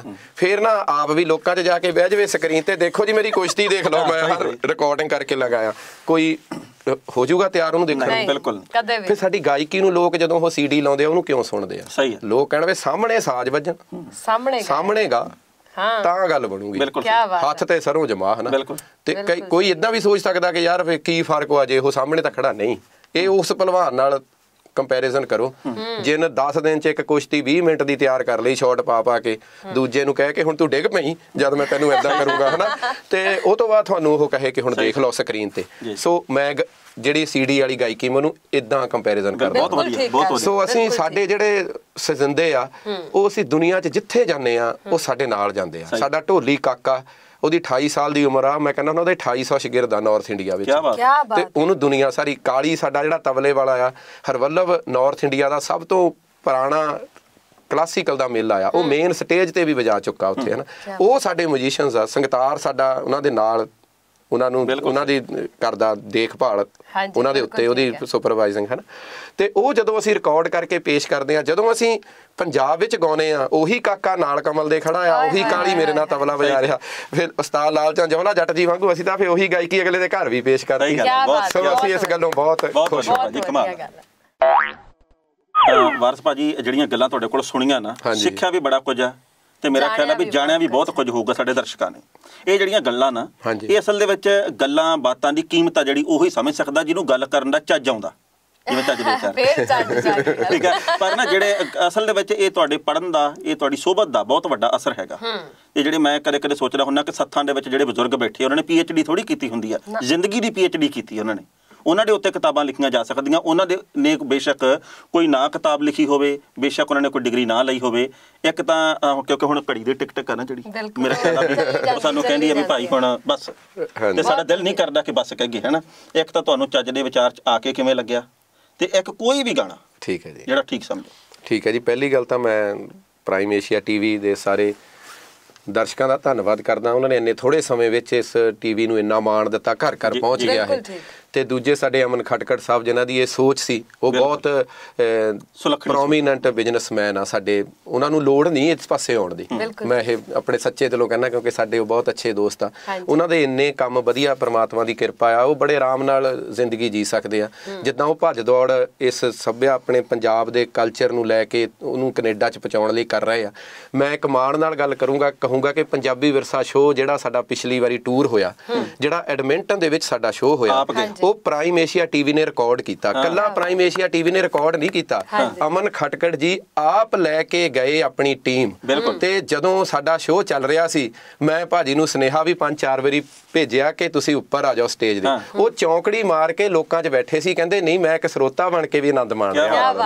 ਮੇਰੀ। ਸਲਾਮ ਆ ਉਹਨਾਂ ਦੀ ਇਸ ਸੋਚ ਨੂੰ। ਤੇ ਉਹ ਲਾਈਵ ਸਾਡਾ ਸ਼ੋਅ ਟੈਲੀਕਾਸਟ ਹੋਇਆ ਪ੍ਰਾਈਮ ਏਸ਼ੀਆ ਟੀਵੀ ਤੇ। ਤੇ ਮੈਂ ਦਿਲੋਂ ਮੁਬਾਰਕਬਾਦ ਦਿੰਦਾ ਤੇ ਇਸ ਟੀਵੀ ਲਈ। ਤੇ ਚੱਜ ਦਾ ਵਿਚਾਰ ਜਿਹੜਾ ਆ ਉਹ ਵਾਕਿਆ ਤੁਸੀਂ ਬਹੁਤ ਪਿਆਰੇ ਹੈਗੇ ਆ ਨੌਜਵਾਨ ਤੁਹਾਡਾ ਚ ਖੂਨ ਆ। ਤੇ ਤੁਸੀਂ ਜਿਹੜੀ ਚੰਗੀ ਸੋਬਤ ਤੁਹਾਡੀ ਹੈਗੀ ਆ ਚੰਗੇ ਸੰਸਕਾਰ ਆ ਤੁਹਾਡੇ। ਤੇ ਉਹ ਜਿਹੜੀ ਤੁਹਾਡੀ ਪੰਜਾਬੀ ਜ਼ਬਾਨ ਦੇਖੋ ਕਿੱਥੇ ਤੱਕ ਅਸੀਂ ਥੱਲੇ ਆ ਗਏ ਆ। ਜੇ ਕੋਈ ਵਧੀਆ ਪੰਜਾਬੀ ਬੋਲਦਾ ਤੇ ਅਸੀਂ ਉਹਦੀ ਸਾਨੂੰ ਸਿਫਤ ਕਰਨੀ ਬਣਦੀ ਆ। ਜਦ ਕਿ ਇਹ ਮੇਰਾ ਖਿਆਲ ਜਿੱਦਾਂ ਜਦੋਂ ਅਸੀਂ ਤਿੰਨੇ ਭਰਾ ਇਕੱਠੇ ਹੁੰਦੇ ਨਾ ਸਾਡੀ ਲੋਕ ਸਿਫਤ ਕਰਦੇ ਆ। ਕਰਨੀ ਥੋੜੋ ਚਾਹੀਦੀ ਸਾਰੇ ਭਰਾਵਾਂ ਨੂੰ ਇਕੱਠੇ ਰਹਿਣਾ ਚਾਹੀਦਾ। ਪਰ ਕਿਉਂਕਿ। ਲੜਾਈ ਘਰ ਘਰ ਪੈ ਗਈ ਇਸ ਕਰਕੇ ਅਸੀਂ ਸਪੈਸ਼ਲ ਬਣ ਗਏ। ਪੰਜਾਬੀ ਇੰਨੀ ਗਲਤ ਬੋਲਣ ਲੱਗ ਪਏ ਇੰਨੇ ਸ਼ਬਦ ਜੋੜ ਗਲਤ ਹੋ ਗਏ ਕਿ ਸਾਨੂੰ ਤੁਹਾਡੀ ਸਿਫਤ ਕਰਨੀ ਪੈ ਗਈ। ਨਹੀਂ ਪਰ ਜਦ ਇਹ ਕਿ ਪੰਜਾਬੀ ਹਰੇਕ ਦੀ ਸੋਹਣੀ ਹੋਣੀ ਚਾਹੀਦੀ ਸੀ ਬਿਲਕੁਲ ਠੀਕ ਹੈ ਬਿਲਕੁਲ ਠੀਕ ਹੈ। ਇਹ ਮੇਰੇ ਲਈ ਬੜੀ ਮਾਣ ਵਾਲੀ ਗੱਲ ਹੈ ਕਿ ਮੈਨੂੰ ਪਹਿਲਾਂ ਤਾਂ ਟਹਿਣਾ ਸਰ ਦਾ ਸਾਥ ਮਿਲਿਆ। ਇਹਨਾਂ ਨੇ ਮੇਰੀ ਪੰਜਾਬੀ ਦੇ ਵਿੱਚ ਬਹੁਤ ਜ਼ਿਆਦਾ ਸੁਧਾਰ ਕੀਤਾ ਕਿਉਂਕਿ ਗਾਹੇ ਬਗਾਹੇ ਕਿਤਨਾ ਕਿਤੇ ਅੰਗਰੇਜ਼ੀ ਦੇ ਸ਼ਬਦਾਂ ਨੇ ਸਾਡੀ ਬੋਲ ਬਾਣੀ ਦੇ ਵਿੱਚ ਘੁਸਪੈਠ ਕਰ ਦਿੱਤੀ ਹੈ। ਸਾਨੂੰ ਆਪ ਨਹੀਂ ਪਤਾ ਲੱਗਦਾ ਅਸੀਂ ਕਦੋਂ ਬੋਲਦੇ ਬੋਲਦੇ ਵਿੱਚ ਅੰਗਰੇਜ਼ੀ ਦੇ ਸ਼ਬਦ। ਬੋਲਦੇ ਆ ਤੇ ਉਹਦੇ। ਲਈ ਹਮੇਸ਼ਾ ਇਹਨਾਂ ਨੇ ਮੇਰਾ ਸਾਥ ਦਿੱਤਾ ਵੀ ਮੇਰੀ ਪੰਜਾਬੀ ਸੁਧਾਰੀ ਹੈ ਇਹਦੇ ਲਈ ਮੈਂ ਬਹੁਤ ਜ਼ਿਆਦਾ ਸ਼ੁਕਰਗੁਜ਼ਾਰ ਹਾਂ ਬਾਕੀ ਤੁਸੀਂ ਚਾਹੀਦਾ ਵਿਚਾਰ ਦੇ ਵਿੱਚ ਆਏ ਇਹਦੇ ਤੋਂ ਵੱਡੀ ਮਾਣ ਵਾਲੀ ਗੱਲ। ਚਲੋ ਮੈਂ ਇੱਕ ਸਿੱਖਿਆ ਦਾ ਇੱਕ ਹੀ ਪਹਿਲਵਾਨ ਦਾਰਾ ਸਿੰਘ ਜੀ ਦਾ ਮੈਨੂੰ ਆਸ਼ੀਰਵਾਦ ਮਿਲਿਆ ਉਹਨਾਂ ਨੇ ਨਾ ਫਿਲਮਾਂ ਕੀਤੀਆਂ ਉਹਨਾਂ ਨੇ ਪੰਜਾਬੀ ਗਾਣਾ ਨਹੀਂ ਕੋਈ ਵੀ ਕੀਤਾ ਆਪਣੀ। ਜ਼ਿੰਦਗੀ 'ਚ। ਪਰ ਮੇਰੇ ਦੋ ਕੀਤੇ ਉਹਨਾਂ ਨੇ। ਇੰਨਾ ਆਸ਼ੀਰਵਾਦ ਮੈਨੂੰ ਦਿੱਤਾ। ਪੰਜਾਬੀ ਸ਼ੇਰਾ ਤੇ ਇੱਕ ਖਾਦੀਆਂ ਖਰਾਕਾਂ। ਸੋ ਨਸ਼ਿਆਂ ਨੂੰ ਲੈ ਕੇ ਸਾਡੇ ਚਿੰਤਤ ਰਹਿੰਦੇ ਆ ਐਨਆਰਆਈਜ਼ ਬਹੁਤ। ਸੋ ਮੈਂ ਅੱਜ ਤੋਂ 10 ਸਾਲ ਪਹਿਲਾਂ 2007 'ਚ ਇਹ ਸੁਨੇਹਾ ਦਿੱਤਾ ਸੀ। ਉਹਦੇ ਦੋ ਬੋਲ ਮੈਂ ਕਹਿ ਦਿੰਦਾ। ਜ਼ਰੂਰ। ਬਿਨਾ ਗਿਣੇ ਨਸ਼ੇ ਦੀਆਂ ਗੋਲੀਆਂ ਜੋ ਖਾਂਦੇ ਨੇ ਉਹ ਮੁੰਡੇ ਆਪਣੀ ਜਵਾਨੀ ਸਾੜੀ ਜਾਂਦੇ ਨੇ। ਟੀਕਿਆਂ ਤੇ ਸੂਟਿਆਂ ਨੇ ਚੂਸ ਲਏ। ਲਾਲੀਆਂ ਚਿਹਰੇ ਤੇ ਕਿੱਥੋਂ ਛਾਉਣੀਆਂ ਕਹਿੰਦੇ ਨੇ ਸਿਆਣੇ ਗੱਲਾਂ ਸੱਚੀਆਂ। ਖਾਦੀਆਂ ਖੁਰਾਕਾਂ ਕੰਮ ਆਉਣੀਆਂ ਕਿਆ ਬਾਤ ਹੈ, ਬਹੁਤ ਵਧੀਆ ਬਿਲਕੁਲ। ਸੱਚਾਈ ਹੈ। ਬਾਕੀ ਸਾਨੂੰ ਬਹੁਤ ਜ਼ਿਆਦਾ ਵਧੀਆ ਲੱਗਿਆ ਤੁਹਾਡੇ ਨਾਲ ਗੱਲਬਾਤ ਕਰਕੇ ਤੇ ਅਸੀਂ ਫਿਰ ਕੋਸ਼ਿਸ਼ ਕਰਾਂਗੇ ਜਿਸ ਦਿਨ ਤੁਹਾਡੇ ਕੋਲ ਸਮਾਂ ਹੋਇਆ ਜਾਂ ਦੁਬਾਰਾ ਕਿਤੇ ਸਬਬ ਹੋਇਆ ਤੇ ਜ਼ਰੂਰ ਅਸੀਂ ਜ਼ਰੂਰ ਜੀ, ਮੈਂ ਹਮੇਸ਼ਾ ਹਾਜ਼ਰ ਹਾਂ। ਤੁਹਾਡੇ ਨਾਲ ਗੱਲਾਂ ਬਾਤਾਂ ਕਰਾਂਗੇ ਤੇ ਫਿਲਹਾਲ ਹੁਣ ਇਸ ਪ੍ਰੋਗਰਾਮ ਨੂੰ ਸਾਨੂੰ ਸਮੇਟਣਾ ਪਏਗਾ। ਆਪਣੀ ਪ੍ਰਤੀਕਿਰਿਆ ਜਿਹੜੀ ਆ ਸਾਡੇ ਤੱਕ ਜ਼ਰੂਰ ਪਹੁੰਚਾਇਓ। ਸਾਡਾ WhatsApp ਨੰਬਰ ਹੈ ਤੁਹਾਡੇ ਕੋਲ ਉਹਦੇ ਉੱਪਰ ਆਪਣੇ ਵਿਚਾਰ ਸਾਂਝੇ ਕਰ ਸਕਦੇ ਹੋ ਜਾਂ ਫਿਰ ਜਦੋਂ ਵੀ Facebook ਦੇ ਉੱਪਰ ਵੀ ਇਹ ਸਾਡਾ ਪ੍ਰੋਗਰਾਮ ਚੱਲੇਗਾ ਉਹਦੇ ਥੱਲੇ ਵੀ ਆਪਣੇ ਵਿਚਾਰ ਸਾਡੇ ਨਾਲ ਤੁਸੀਂ ਸਾਂਝੇ ਕਰ ਸਕਦੇ ਹੋ। ਬਾਕੀ YouTube ਤਾਂ ਹੈ ਹੀ ਹੈ ਜੀ ਉੱਥੇ ਜਾ ਕੇ ਵੀ ਵਿਚਾਰ ਆਪਣੇ ਭੇਜ ਸਕਦੇ ਹੋ। ਫਿਲਹਾਲ ਅਸੀਂ ਪ੍ਰੋਗਰਾਮ ਨੂੰ ਸਮੇਟਦੇ ਹਾਂ। ਸਾਡੇ ਤਿੰਨਾਂ ਵੱਲੋਂ ਸਤਿ ਸ਼੍ਰੀ ਅਕਾਲ ਤੁਸੀਂ ਵੇਖਦੇ ਰਹੋ ਜੀ ਪ੍ਰਾਈਮ ਏਸ਼ੀਆ ਟੀਵੀ ਤੁਹਾਡਾ ਆਪਣਾ ਤੁਹਾਡੇ ਲਈ। ਲਓ ਵੀ ਹਾਜ਼ਰ ਹੈ। ਜੱਜ ਦਾ ਵਿਚਾਰ। ਪ੍ਰਾਈਮ ਏਸ਼ੀਆ ਟੀਵੀ ਦਿਲ ਦੀਆਂ ਗਹਿਰਾਈਆਂ ਚੋਂ ਆਪ ਸਭ ਵੱਲੋਂ ਦਿੱਤੇ ਪਿਆਰ ਲਈ ਧੰਨਵਾਦੀ ਹੈ ਕਿ ਥੋੜੇ ਜਿਹੇ ਸਮੇਂ ਵਿੱਚ ਹੀ ਤੁਸੀਂ ਸਾਨੂੰ ਘਰ ਘਰ ਦੀ ਪਸੰਦ ਬਣਾ ਦਿੱਤਾ ਹੈ।